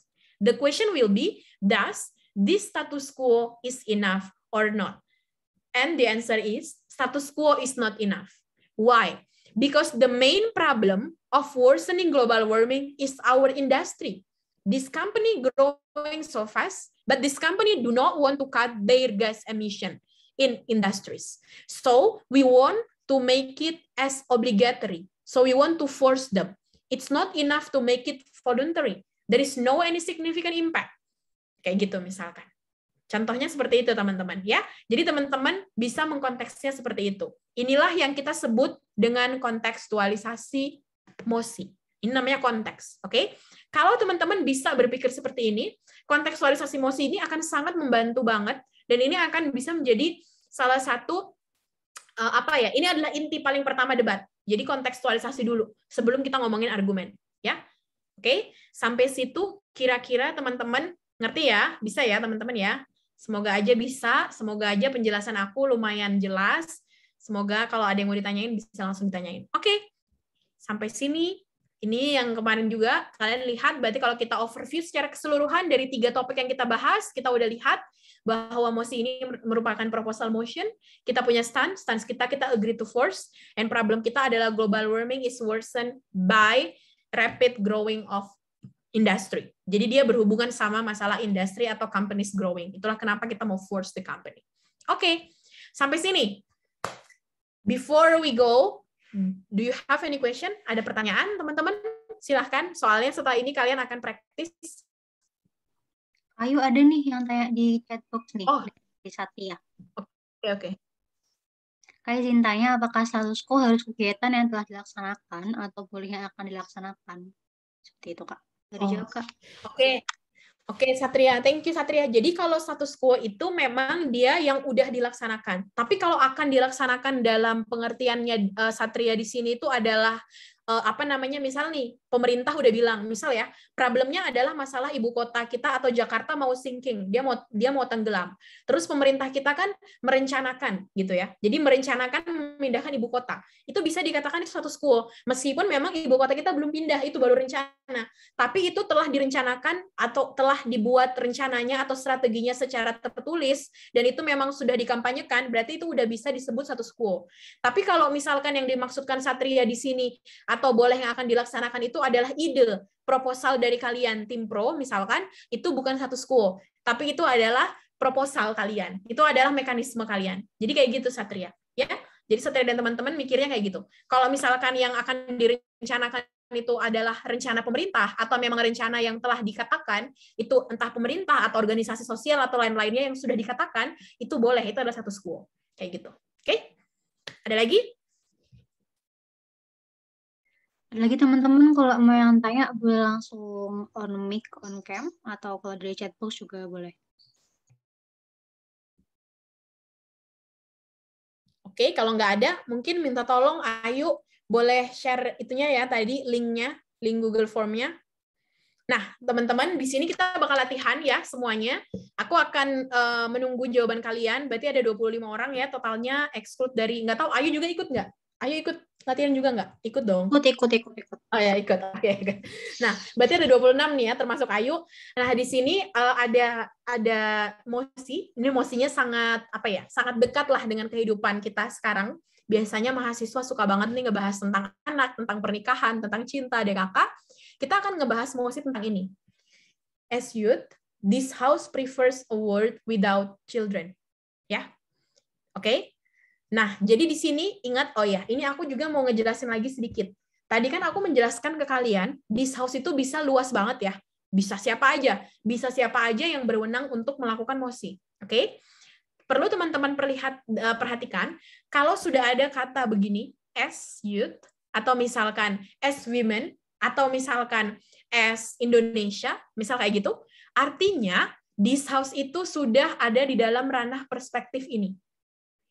Dalam perspektif aktor yang sudah disebutkan. Jadi nanti kalian silahkan berfokus untuk berpikir sebagai anak muda. Kalian kan semua anak muda nih ya.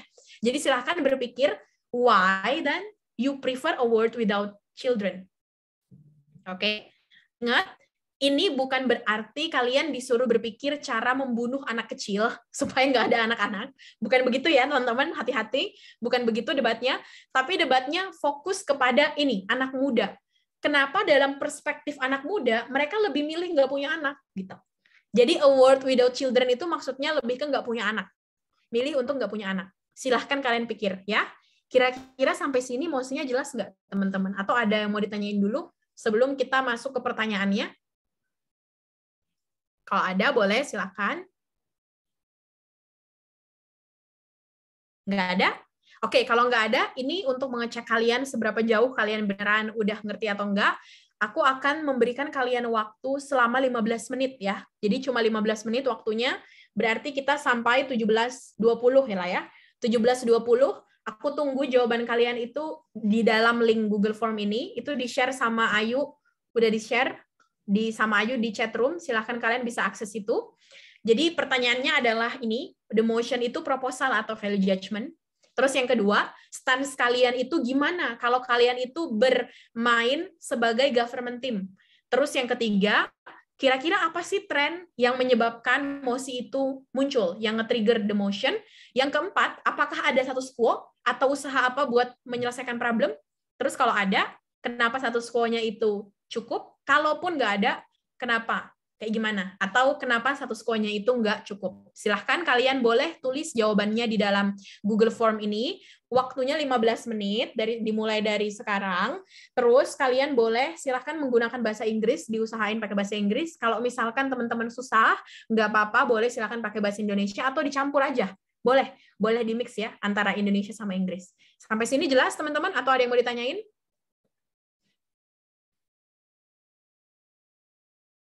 Jelaskah? Uh, Kak, maaf. Hmm? Mau tanya. Buat ya? yang nomor satu gimana? Oh, ya? yang nomor gimana? satu. Ya. Bentar ya, aku share screen lagi. Oh ya, jadi yang nomor satu ini maksudnya adalah uh, mosi ini, jadi mosi as youth this house prefers a world without children itu, kira-kira dia diidentifikasi sebagai mosi proposal atau mosi value judgment. Jadi dia sama seperti yang tadi ini, yang tadi udah aku jelasin di sini, yang mengenai masalah uh, mosi, mosi proposal sama value judgment. Ini ya. Jadi ini tadi udah aku jelasin. Kalau misalkan dia proposal, biasanya kayak gini-gini, terus value judgment kayak gini-gini. Oke?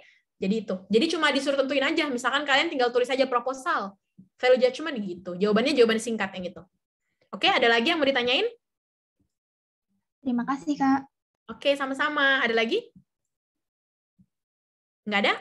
Oke, kalau nggak ada, we start ya. Pas 17.05, so, uh, teman-teman akan selesai di 17 17.20. Oke, we start from now. Silahkan boleh diakses Google Form-nya masing-masing. Aku tunggu jawabannya ya. Thank you, everyone.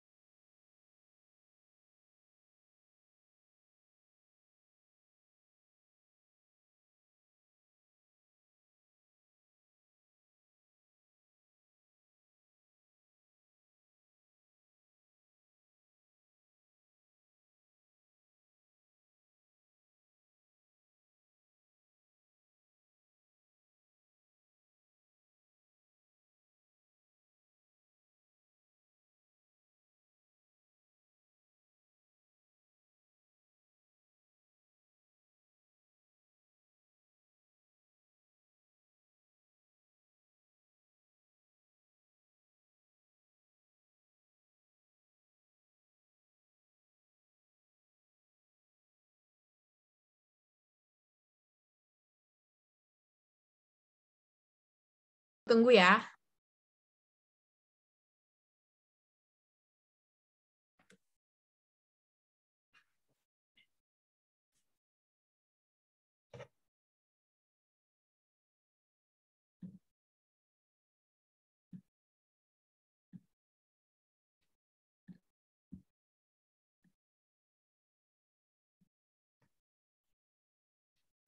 Masih 11 nih.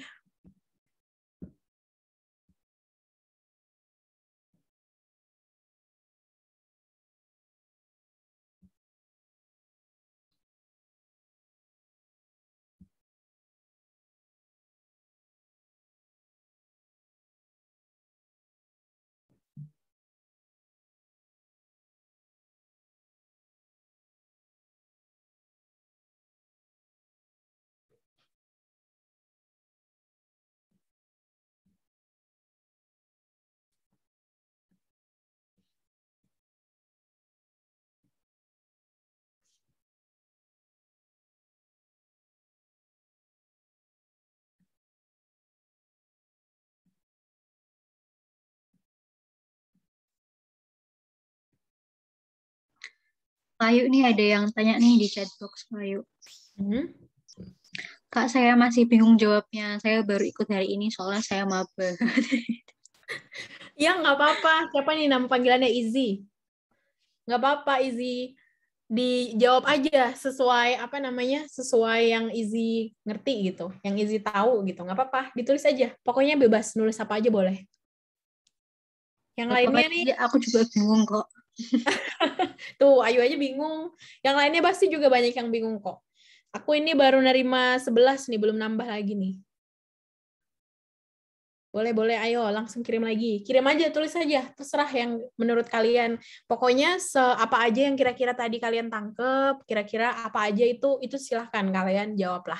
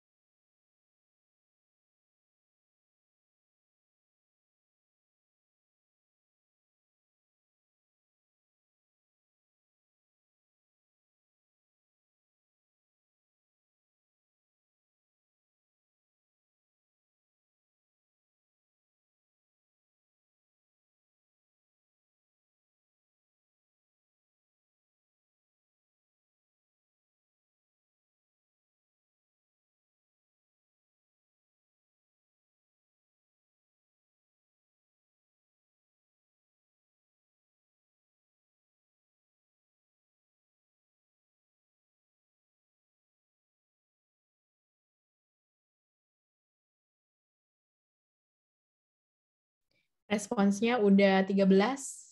Masih nunggu, oh di sini udah berkurang nih ya. Masih 12 lagi.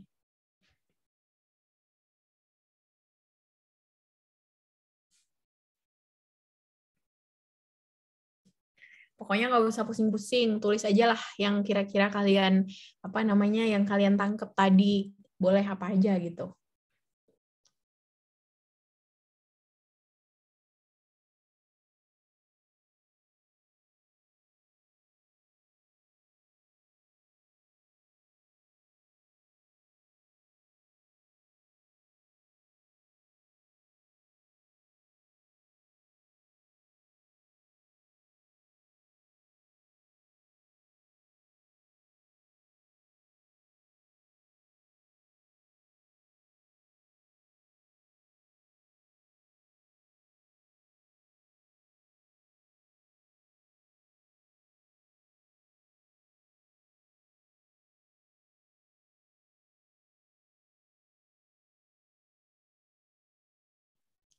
By the way, setiap orang setelah kalian ngisi ngisi formnya udah dapet ya salinan jawabannya ke email masing-masing. Dapatkah yang 13 orang ini yang udah ngirim? Dapat, Kak. Oh ya, oke dapat ya. Nah kalau kayak gitu eh, kita sambil nunggu aja yang lainnya. Sekarang aku mau kayak nge-spin gitu nama yang udah masuk 13 itu. Terus nanti silahkan disampaikan apa yang kalian apa namanya yang kalian tulis tadi itu secara apa namanya secara speaking gitu ya. Kalian speak up ya. Coba aku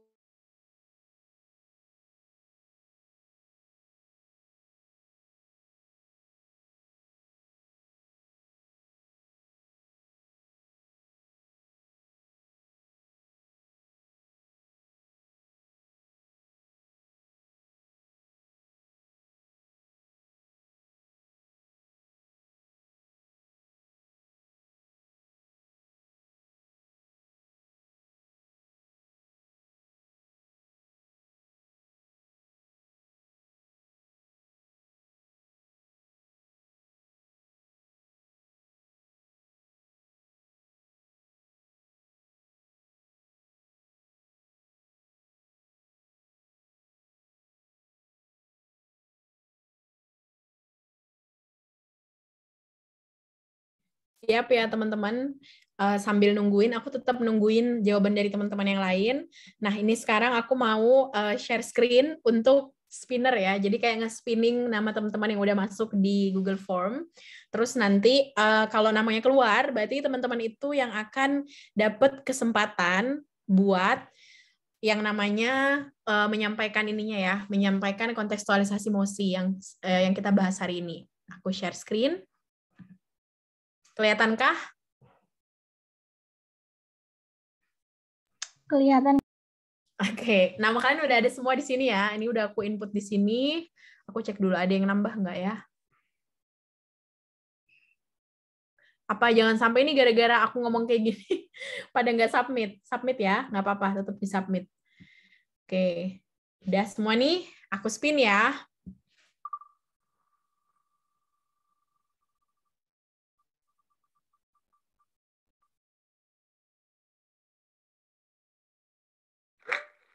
Yeay.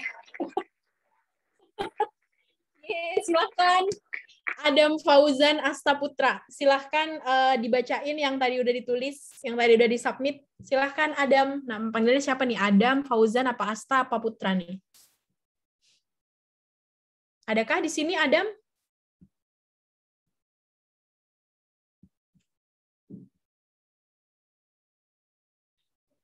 Halo, ada Adam? Ayo ada Adam nggak ya di sini? Adam. Kayaknya keluar ya kak. Itu benernya Asta nggak sih teman-teman? Kurang tahu juga aku. Oh iya kayaknya Asta ini. Asta? Are you here?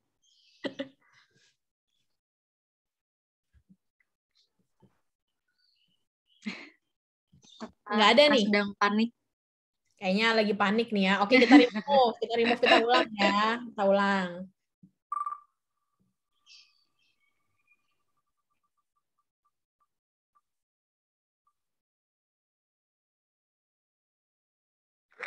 Ye. Silakan Nadia, Shofa, Nabila. Nadia silakan Nadia. Yuk Nadia, Shofa yuk. Ayo, ayo. Ya, Kak. Gak apa-apa kok. Cuma tinggal baca aja yang tadi kalian udah tulis. Oh iya. Bentar, Kak. Oke, sambil timer ya. Boleh kalian kalau udah ada yang pada nginstall ini di Bedkeeper, boleh juga langsung di timerin supaya tahu kira-kira ngomong segitu tuh berapa menit ya kalian udah ngomong gitu. Oke, aku stop share. Kalau misalkan mau ada yang mau share screen atau apa, boleh silahkan. Uh, mulai dari pertanyaan yang pertama tadi ya, Kak? Ya, betul. Uh, pertama, is the motion proposal or value judgment? I answer proposal. Mm -hmm. Yang kedua, how your stance if you act as government team? Disagree. What's the trend that triggers the motion? In this era, many youth are decided to didn't have a kids because several reasons like the overpopulation in the world or, or disturb their work. Mm -hmm. Is there any status quo or an effort to solve the problem? Please provide detailed reasoning. Policy to limit a number of kids for full country due to the overpopulation in the world. or take care orderly to decrease the population, solidification for people who do child-free, or make or makes uh, some innovation of or some beneficial activities for country to contribute to contribute without a child for people who's child-free. Are the efforts or status quo enough or not? Provide detailed reasoning enough because the problem are start from the effect of new era. Many people prefer to have an, a child because it can make our population disturb their job and time for take care of baby. So the status quo status quo must be re related to the problems. However, child is important to give the state to them later, but we cannot force people to have a child. Dah, Kak. Oke, okay, thank you.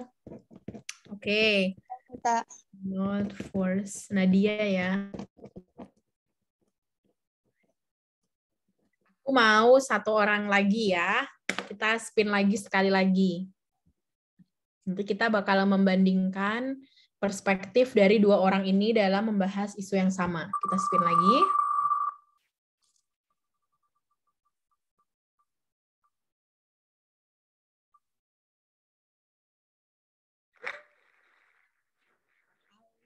Agni Amajida.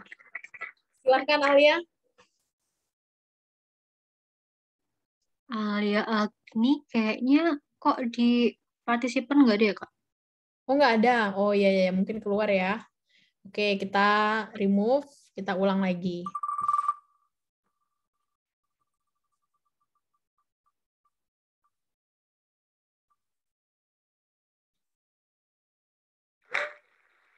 Oke, Hana. Hana ada kah? Hana Mafiro, Hana? Ada, ada Hana. Hana. Oke.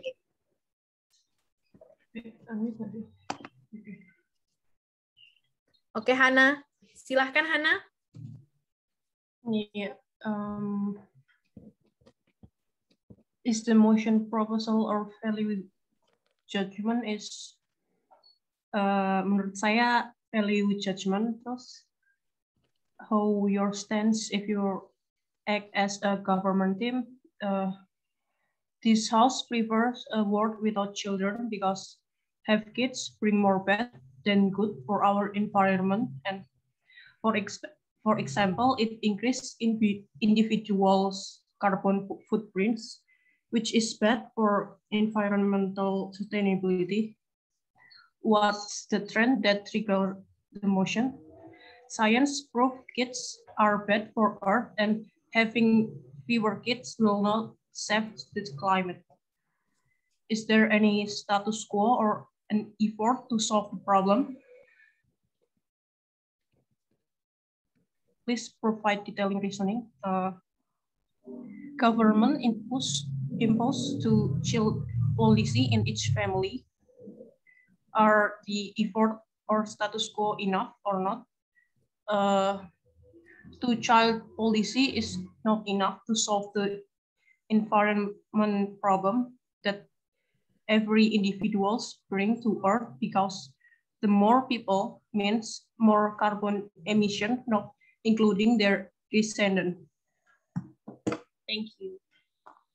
Oke, okay, thank you Hana. Oke, okay, nah sekarang teman-teman kita bisa lihat ya jadi uh, jawaban yang udah teman-teman tulis itu udah ke record dan itu bakal aku save untuk jadi uh, evaluasi. Jadi kayak nanti supaya di akhir tuh aku bisa lihat kira-kira tren teman-teman tuh uh, ada peningkatan atau mungkin ternyata malah sama aja atau mungkin malah ada penurunan. Jadi nanti kita bakal lihat sama-sama. Jadi itulah tujuan aku kenapa aku nge-record uh, progres kalian di Google Form ini ya. Nah, sekarang kita lihat tadi dari dua contoh ya. Ini suatu topik yang sama. Tapi kalian lihat cara Nadia dan cara Hana melihat topik itu kan beda banget ya. Kalau kita lihat Nadia, Nadia itu dia mengangkat isu tentang overpopulation. Dan Nadia setuju kalau mosi ini adalah mosi proposal. Kalau Hana setujunya ini adalah mosi value judgment. Kayak gitu kan. Nah sekarang kalau aku melihat jawaban dari tren, kalau teman-teman mau lihat ini uh, hasil Google apa namanya Google Formnya, kalian bisa lihat di sini Jadi yang total menjawab itu ternyata ada 18 orang. Jadi dari 18 itu kebanyakan kalian lihat di sini ada yang value judgment, ada yang proposal, terus eh, apa namanya di sininya di Google Form kita lihat ya sama-sama. Jadi yang ngejawab yang ngejawab dia ada value judgment itu lebih banyak ya kalau kita lihat value judgment-nya yang milih lebih banyak daripada yang ngejawab proposal motion. Nah, sebenarnya mosi ini adalah mosi apa? Mosi ini adalah mosi value judgment, betul. Kenapa ini mosi aku bilang value judgment? Karena di mosi ini kita sebenarnya tidak perlu menjelaskan bagaimana cara untuk tidak punya anak. Tapi kita cuman hanya perlu menekankan, betul tadi yang Nadia apa nama Hana tadi bilang, kalau uh, children itu brings more harm than good. Jadi itu menjadi salah satu alasan kenapa kita memilih tidak punya anak kayak gitu. Nah, tapi kalau kita melihat dari segi pengangkatan problem ya, jadi kan dua-duanya mem mempresent problem ya. Nah, dia tadi mempresent problemnya tentang masalah overpopulation, terus si Hana membawa problemnya tentang masalah environment, jadi masalah food, uh, footprint karbon gitu-gitu. Nah, dari kedua permasalahan ini sebenarnya keduanya ini bisa betul bisa jadi alasan problem itu ada, tapi kita harus bisa memilih kira-kira mana sih masalah yang lebih dekat dengan anak muda kira-kira. Apakah masalah yang lebih dekat? Karena aku tadi bilang, cara menentukan problem adalah kita melihat tren. Mana yang paling dekat dengan kehidupan kita gitu. Nah, kalau kita melihat dari kedua ini, sekarang aku mau tanya. Kalau kita lihat di sini, kita lihat dulu jawaban ya. Ini stance-nya ini kita lihat trennya. Di sini ada I don't know, but like political trend maybe ada yang bilang seperti itu. About economic problem ada yang bilang a world without children because the birth rate outgrow the job could be possibly make the limited land and resources. Oke, okay, ini juga masalah overpopulation. Many teenager or youth are having mental illness during this age. Oke, okay, this is very good by the way. Ini ini analisis siapa nih yang nulis ini? It, this is good. Terus habis itu ada yang bilang uh, overpopulation, ini juga overpopulation, berarti kebanyakan mikirnya overpopulation ya. Terus because now is a lot of people do not want to have children because they feel like they are not capable of having children, not only from aspek keuangan atau materi, oke okay, true betul, but also from they do not sure they can raise their children well. Oke okay, ini bagus banget juga ini bagus juga apa namanya uh, aku nggak tahu ini analisisnya siapa ya karena di sini aku nggak nulis namanya terus still focus on finding job and enjoying life as young oke okay, this is a very ini sounding sangat anak muda banget ya karena iya pengen karir gitu tapi betul teman-teman ini betul ini adalah alasan-alasan terus feminism child free older generation mindset Oke, okay. the young people prefer a world without children. Ini masih kurang jelas because children can be so annoying. Oke, okay. oke. Okay ini sebenarnya alasan-alasan tren kalian ya. Ini tuh bagus tahu. Kenapa aku bilang bagus? Karena di sini udah kelihatan problemnya. Nah, sekarang mari kita breakdown satu persatu problem yang muncul ya. Dari permasalahan, kalau kita misalkan kita lihat dari problem yang tadi dipresentasikan sama Nadia ya. Nadia tadi bilang problemnya adalah overpopulation. Jadi seolah-olah overpopulation ini tuh adalah tema utamanya tema besar tren yang ada saat ini. Untuk menjelaskan masalah apa yang muncul, jadi kan kayak tadi, ingat kan tadi di, di PowerPoint tadi aku jelasin problemnya apa namanya trennya ada ada fastest growing industry. Problem ya apa namanya fastest growing industry ini menyebabkan apa? Ternyata dia menyebabkan economic development dan dia menyebabkan environmental issue, iya kan? Nah, sama seperti ini. Yang belum dilewatin oleh analisisnya Nadia adalah di dalam overpopulation itu ada apa? Dia menyebabkan apa? Kayak gitu. Di dalam overpopulation tuh kira-kira dia menyebabkan apa di dalamnya? Oh ya tadi uh, tadi Nadia menjelaskan tentang masalah gimana sih akhirnya uh, ada banyak orang yang berpikir kalau child itu is important, terus ada masalah dari jobnya juga gitu ya. Nah, tapi itu sebenarnya masih umum banget. Jadi di dalam situ kita perlu menjelaskan yang spesifik. Terus di dalam analisisnya Hana, Hana mencoba untuk fokus ke masalah environment gitu ya, ke masalah lingkungan. Tapi di sini yang perlu dipertanyakan adalah begini. Apakah anak itu adalah penyumbang terbesar carbon footprint? Kalau misalkan anak itu bukan penyumbang terbesar carbon footprint, maka itu belum bisa dijadikan permasalahan yang tepat di dalam mosi kayak gitu. Nah, kenapa kayak gitu teman-teman? Karena di dalam menentukan problem, tren kita itu harus terdengar betul-betul urgent masalah ini tuh bener-bener kayak iya ya penyebab satu-satunya masalah ini muncul tuh anak kayak gitu sebenarnya kalau kita lihat kita lihat di sini Gimana caranya Kak? Terus kalau kayak gitu supaya bisa tepat. Caranya adalah seperti tadi yang aku bilang. Perhatikan mosinya di awal ya. Ini mosinya apa mosinya tadi? As youth, this house would apa tadi this house prefers a world without children. Berarti cobalah posisikan diri kalian sebagai anak muda. Jelaskan kenapa anak muda itu trennya apa sih sekarang? Nah, ada beberapa nih di sini jawaban yang betul nih. Maksudnya jawaban yang mendekati lah ya yang dia bilang ini children's itu ada preparation, not only material but also mentally. Betul. Tapi ini penjelasan material sama mentalnya belum dijelasin. Terus tadi ada yang bagus juga tadi yang dia uh, jelasin uh, ini environment juga. Terus dia ngejelasin tentang mana nih? Oh ya, dia ngejelasin juga tentang masalah tadi keuangan gitu. Ah ini nih di sini. Masalah keuangan dia jelasin itu nih. Karena ada banyak mental illness bisa juga. Jadi kayak gitu. Jadi akhirnya yang menjadi tren kita saat ini apa sih? Coba kita lihat ya. Coba kita breakdown one by one. Tren anak muda kita sekarang tuh apa? The trend that we have today as a young generation is that we face problem related to our apa to struggle in our life, ya kan? Kita punya masalah struggling di, di hidup kita. Tapi lebih dari di luar masalah struggling dari hidup kita, sebenarnya having child itu terlalu gede responsibility-nya kayak gitu. Jadi kita ngomongin masalah responsibility as parent. Karena ketika kita have child means kita responsible to individual, human being, new human being. Which is kalau kita ngomongin anak, kenapa anak itu menjadi burden yang berat banget buat anak muda zaman sekarang misalkan? Karena anak ini itu mereka benar-benar from zero belum tahu apa-apa dan kita harus ngisi mereka, kita harus ngajarin mereka. Jadi kayak gitu loh. Kalian di sini bisa isinya curhat itulah yang aku bilang debat itu benar-benar fun. Kalian bisa ngisi itu dengan perspektif apa aja dan itu bebas-bebas aja gitu kayak gitu. Nah tapi kalau kita melihat lagi tadi yang dibawa sama Nadia yang dibawa sama Hana itu dua-duanya betul. Itu adalah masalah yang betul.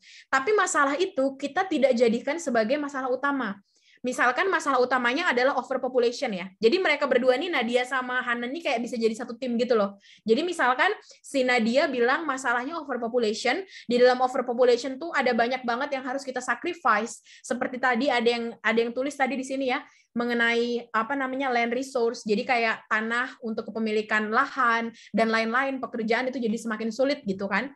Terus ternyata in another hand the harm of having children adalah apa? Adalah ada yang namanya tadi global footprint atau carbon footprint misalkan. Betul, itu bisa dimasukkan seperti itu. Sesignifikan itu ternyata permasalahan yang ada. Kayak gitu. Oke? Okay? Jadi, oke okay, bagus. Aku ngelihat teman-teman udah bisa apa namanya udah lumayan lah ya. Meskipun memang tadi masih ada beberapa yang menganggap ini proposal, nggak apa-apa, itu nggak masalah. As long as kalian apa namanya bisa menjelaskan gitu, itu nggak masalah juga. Oke, kayak gitu. Nah, kira-kira sampai sini ada yang mau ditanyain nggak? Ada yang mau ditanyain kah? Boleh, siapa aja boleh nanya? Oh iya, by the way, status quo kalian juga bagus-bagus loh. Aku nggak nyangka kalian ngerti tentang masalah ini. Maksudnya bagus gitu loh kalian jelasin. Ini ada yang bilang ada control the population. Mereka udah gunain uh, apa namanya KB gitu ya dari tahun 1970, betul. Dan ini berarti permasalahan yang diangkat di sini pasti kelihatan. Dari kalau kalian perhatiin dari status quo di sini itu udah kelihatan. Berarti permasalahan yang diangkat adalah masalah over population. Nah kalau di sini kita lihat nih effort from Japanese government that give money for people that are getting married. Oke, okay, berarti ini dalam perspektif uh, debater ini dia langsung menganalogikan permasalahan ini ada di Jepang atau dia pakai contoh gitu ya. Ini ini belum apa namanya? Ya ini juga satu quo, tapi ini belum satu quo yang dianalisis antara apa namanya? yang spesifik banget gitu. Jadi kayak yang umum gitu apa. Terus government impose to child policy in each family. Oke, okay, betul. Kayak gini ada program KB, ya betul keep calm and find a solution to the problem. Oke, okay. oke. Okay. Nah yang kayak gini yang keep calm to, uh, to find a solution to the problem, oke okay, nggak apa-apa. Tapi kayak nanti dibikin lebih spesifik ya. Kira-kira kayak gimana? Nanti setelah ini bakal aku rekap lagi. Kira-kira jawaban ini dia itu ke siapa, ke siapa, ke siapa gitu supaya bakal aku lihat progresnya. Terus strengthen the heart and mind. The children are the continuation of how country will be a future by formulating strategy because thought are important. Oke. Okay?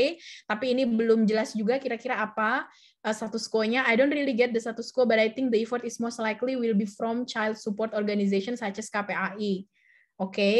berarti ini problemnya apa ini? Kita belum tahu nih, kira-kira dia bawa problemnya tentang apa. status quo isn't exist. Ada juga yang bilang kayak gitu. Oke, okay, bisa juga kalau emang menurut kalian nggak punya status quo ya. Tapi uh, sebenarnya bisa kalian jelasin status quo-nya tuh apa aja sekarang. Tapi kalau emang nggak ada, nggak apa-apa. You may say status quo-nya nggak ada. Justru itu ya udah berarti ini emang baru banget isunya yang harus dibahas, nggak apa-apa. Kayak gitu. Terus dari status quo karena ada problem solve-nya Kak. Oke. Okay. Tapi di sini belum jelas status quo-nya apa ya, Dek. Harusnya ditulis. Terus udah yes, with the youth prefers no children mean no future for the world. Oke. Okay. Ini juga ini berarti apa namanya masih bingung ya kayaknya masih agak bingung terkait status quo dan kawan-kawan dan masih agak bingung mungkin karena di sini kita lihat ya with the youth prefers no children mean no future for the world. Ini sebenarnya udah bias. Jadi kalimat ini sebenarnya udah kalimat yang mengajuk ke personal preference dia yaitu personal preference dia adalah dia sebenarnya pengen punya children, ya nggak? Coba kalian rasa-rasa dari kalimat ini. Kerasa kan kayak gitu. Nah, ini tidak tadi yang aku maksud. Jadi kalian harus bisa menempatkan argumentasi kalian itu berdasarkan posisi. Karena di sini diminta mendukung government, berarti harus fokus ngedukung government ya. Jadi bukan kalian masukin personal preference kayak gitu. Tapi nggak apa-apa. If we want the world without children, everyone in this world would would have to having a sex. Oke. Okay. Oke, okay. it's good. Nah, di sini juga ini nanti kita bakal bahas lagi ya, apakah having sex really means having children atau enggak. Jadi ini juga termasuk, ini nanti kita perlu benerin lagi ya, beberapa bagian jawaban-jawaban ini masih perlu kita jelasin satu quote Oh ya, yang ini coba. Children are born just to either fulfill their parents' dream and end up being ungrateful or just to fulfill their dream and being grateful. Okay. Now, there are many youth who started to being more vocal about what they want and most of them, at least in the internet, said that they want their children end up being not happy and etc. So they said they wanted to be child-free. So this situation, youth being more vocal, is a good sign that they already aware about the problem where some children are not happy. It's good. Bagus banget ini. Kalian tahu ini adalah salah satu analisis status quo yang sebenarnya ini curhat, guys. Ini sebenarnya curhat. Tapi ini betul. Ini adalah salah satu depiction of trend. Jadi salah satu yang men-trigger problem anak kita, apa namanya, kita sebagai anak muda nggak mau punya anak, because we experience unhappiness karena kita mengexperience unhappiness, kita mengexperience how hard kita struggle. Coba deh kalian rasa-rasa ya. Dari kalian masih kecil, sampai kalian gede, sampai sekarang kita udah masuk kuliah nih ya. Kalian kan dipenuhi struggle tuh dalam hidup, iya kan? Dipenuhi struggle buat cari PTN, perguruan tinggi negeri. Pas udah selesai, ye happy graduation. Eh, pusing lagi nyari kerjaan, iya nggak? Pas sudah dapat kerjaan, yay, happy, you got, ya, yeah, congratulations for your position. Oh my God, when will you get married? Kayak gitu, ya kan? Sebenarnya emosi ini sangat dekat kepada hidup kita gitu. Itu yang aku mau. Jadi yang aku mau adalah coba kalian mencari tren yang emang ini kalian experience dalam hidup dan kalian ngerasa ini very close to you, very close with your life. That's what I want, kayak gitu, ya. Dan di situlah di analisis ini yang sebagai contoh ini ini bisa kita ambil gitu. Jadi karena seperti itu kita merasa apa akhirnya problemnya? Coba kalau dari semua penjelasan tadi, kira-kira problemnya apa?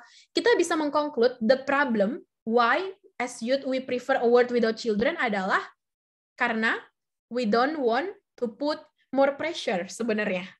Pressure-nya ke siapa? Pressure-nya bukan cuma ke kita sebagai anak muda, tapi pressure ke anak kita juga. Kayak gitu. Ya kan? kayak gitu. Jadi itu adalah alasan-alasannya. Nanti setelah itu berarti problemnya apa kak? Ya itu tadi problemnya. Boleh kalian mengkontekstualisasikannya seperti ini juga boleh. Bisa aja kalian bilang the trend of apa namanya the trends nowadays is very complicated. Jadi coba kita gabungin semua problem ya. We have very complicated trend nowadays living as youth or young generation. For example, overpopulation problem. Second, we are living in the condition with unstable economic condition. Third, we have environmental issue which is that it's true and very apa namanya creating a lot of disaster. These three points already become the main reasons why we don't want to have children. Kayak gitu misalkan. Nah terus habis itu udah langsung dia masuk. So what's the problem? Let's see our life. Misalkan kayak gitu ya kita udah living under pressure because overpopulation. It's very hard to find job. It's very hard to find bahkan kalian untuk nge-build rumah aja susah gitu. Jangankan nge-build rumah, beli apartemen aja susah. Jangankan beli apartemen, bayar kos-kosan aja susah. Misalnya kayak gitu loh ya. The problem not only comes from our economy. Tadi ada yang jelasin di sini tentang masalah mental illness. Betul. So the pressure that current young generation got is not only the pressure comes from our financial issue and social issue, but also the pressure that comes from our mental. And this condition lead us to the decision that we don't want to add more pressure. So the problem is pressure. We don't want this pressure. Kayak gitu. Nah, nanti kalau mau ngebahas tentang masalah argumen nanti itu di next di next discussion. Tapi itu tadi awalnya. Kayak gitu ya. Jadi kayak gitu teman-teman, oke? Jadi ini sebenarnya close banget dan deket banget sama kehidupan kita semua. Aku rasa seperti itu aja dulu buat hari ini.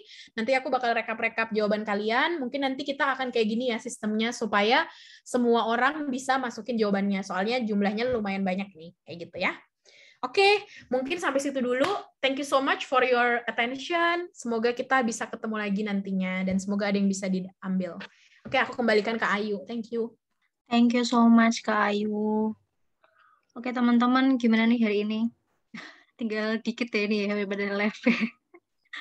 Soalnya Kak Ayu ini sore tuh uh, tabrakan, soalnya beberapa, uh, beberapa banyak pihak siswa yang uh, kelas sore juga gitu. Jadi uh, tadi Oh. sempat setengahnya doang gara-gara gitu. Jadi kan kita Oh. kan ada yang kelas pagi sama kelas siang. Nah, kalau sore itu biasanya Oh. ada yang tabrakan sama kelas. Jadi tadi cuma setengah doang yang bisa ikut. Ya, semoga besok bisa lebih Hmm. banyak kayak Kai. Oh gitu. Berarti kalian sebenarnya lebih prefer malam ya? Kalau kayak gitu ya? Iya, sebenarnya cuma iya sih Kak, sebenarnya malam. Cuma kalau emang Kak Ayu bisa yang sore juga nggak apa-apa sih Kak. At least masih tadi masih setengahan kok yang ikut. Oke, tapi nggak apa-apa sih kalau misalkan kalian bisa malam. Sebenarnya aku malam bisa kok nanti kita bahas di chat lagi ya. Mungkin besok malam aja kali ya. Oke, oke. Supaya maksudnya lebih banyak yang ikut aja. Soalnya apa namanya? Supaya anak-anaknya bisa lebih bisa lebih itulah, bisa lebih banyak partisipannya jadi bisa lebih seru. Kayak gitu. Iya ya, berarti Oke. malam tapi kalau malam ayo kira-kira jam berapa ya kalian bisanya? Eh, habis maghrib boleh sih Kak? Oh, habis maghrib ya. Berarti sekitar jam ini ya, 17 eh 18-an 30 ya. Iya, iya, boleh. Ya udah berarti besok dari 18.30 sampai jam 20 ya. 20.30. Kalian nggak capek tapi? Nanti alasan lagi kak ada tugas banyak. Sebenarnya teman-teman yang lain coba deh salah satu speak up. Enaknya kita sore atau malam nih? Belajar apa Damar?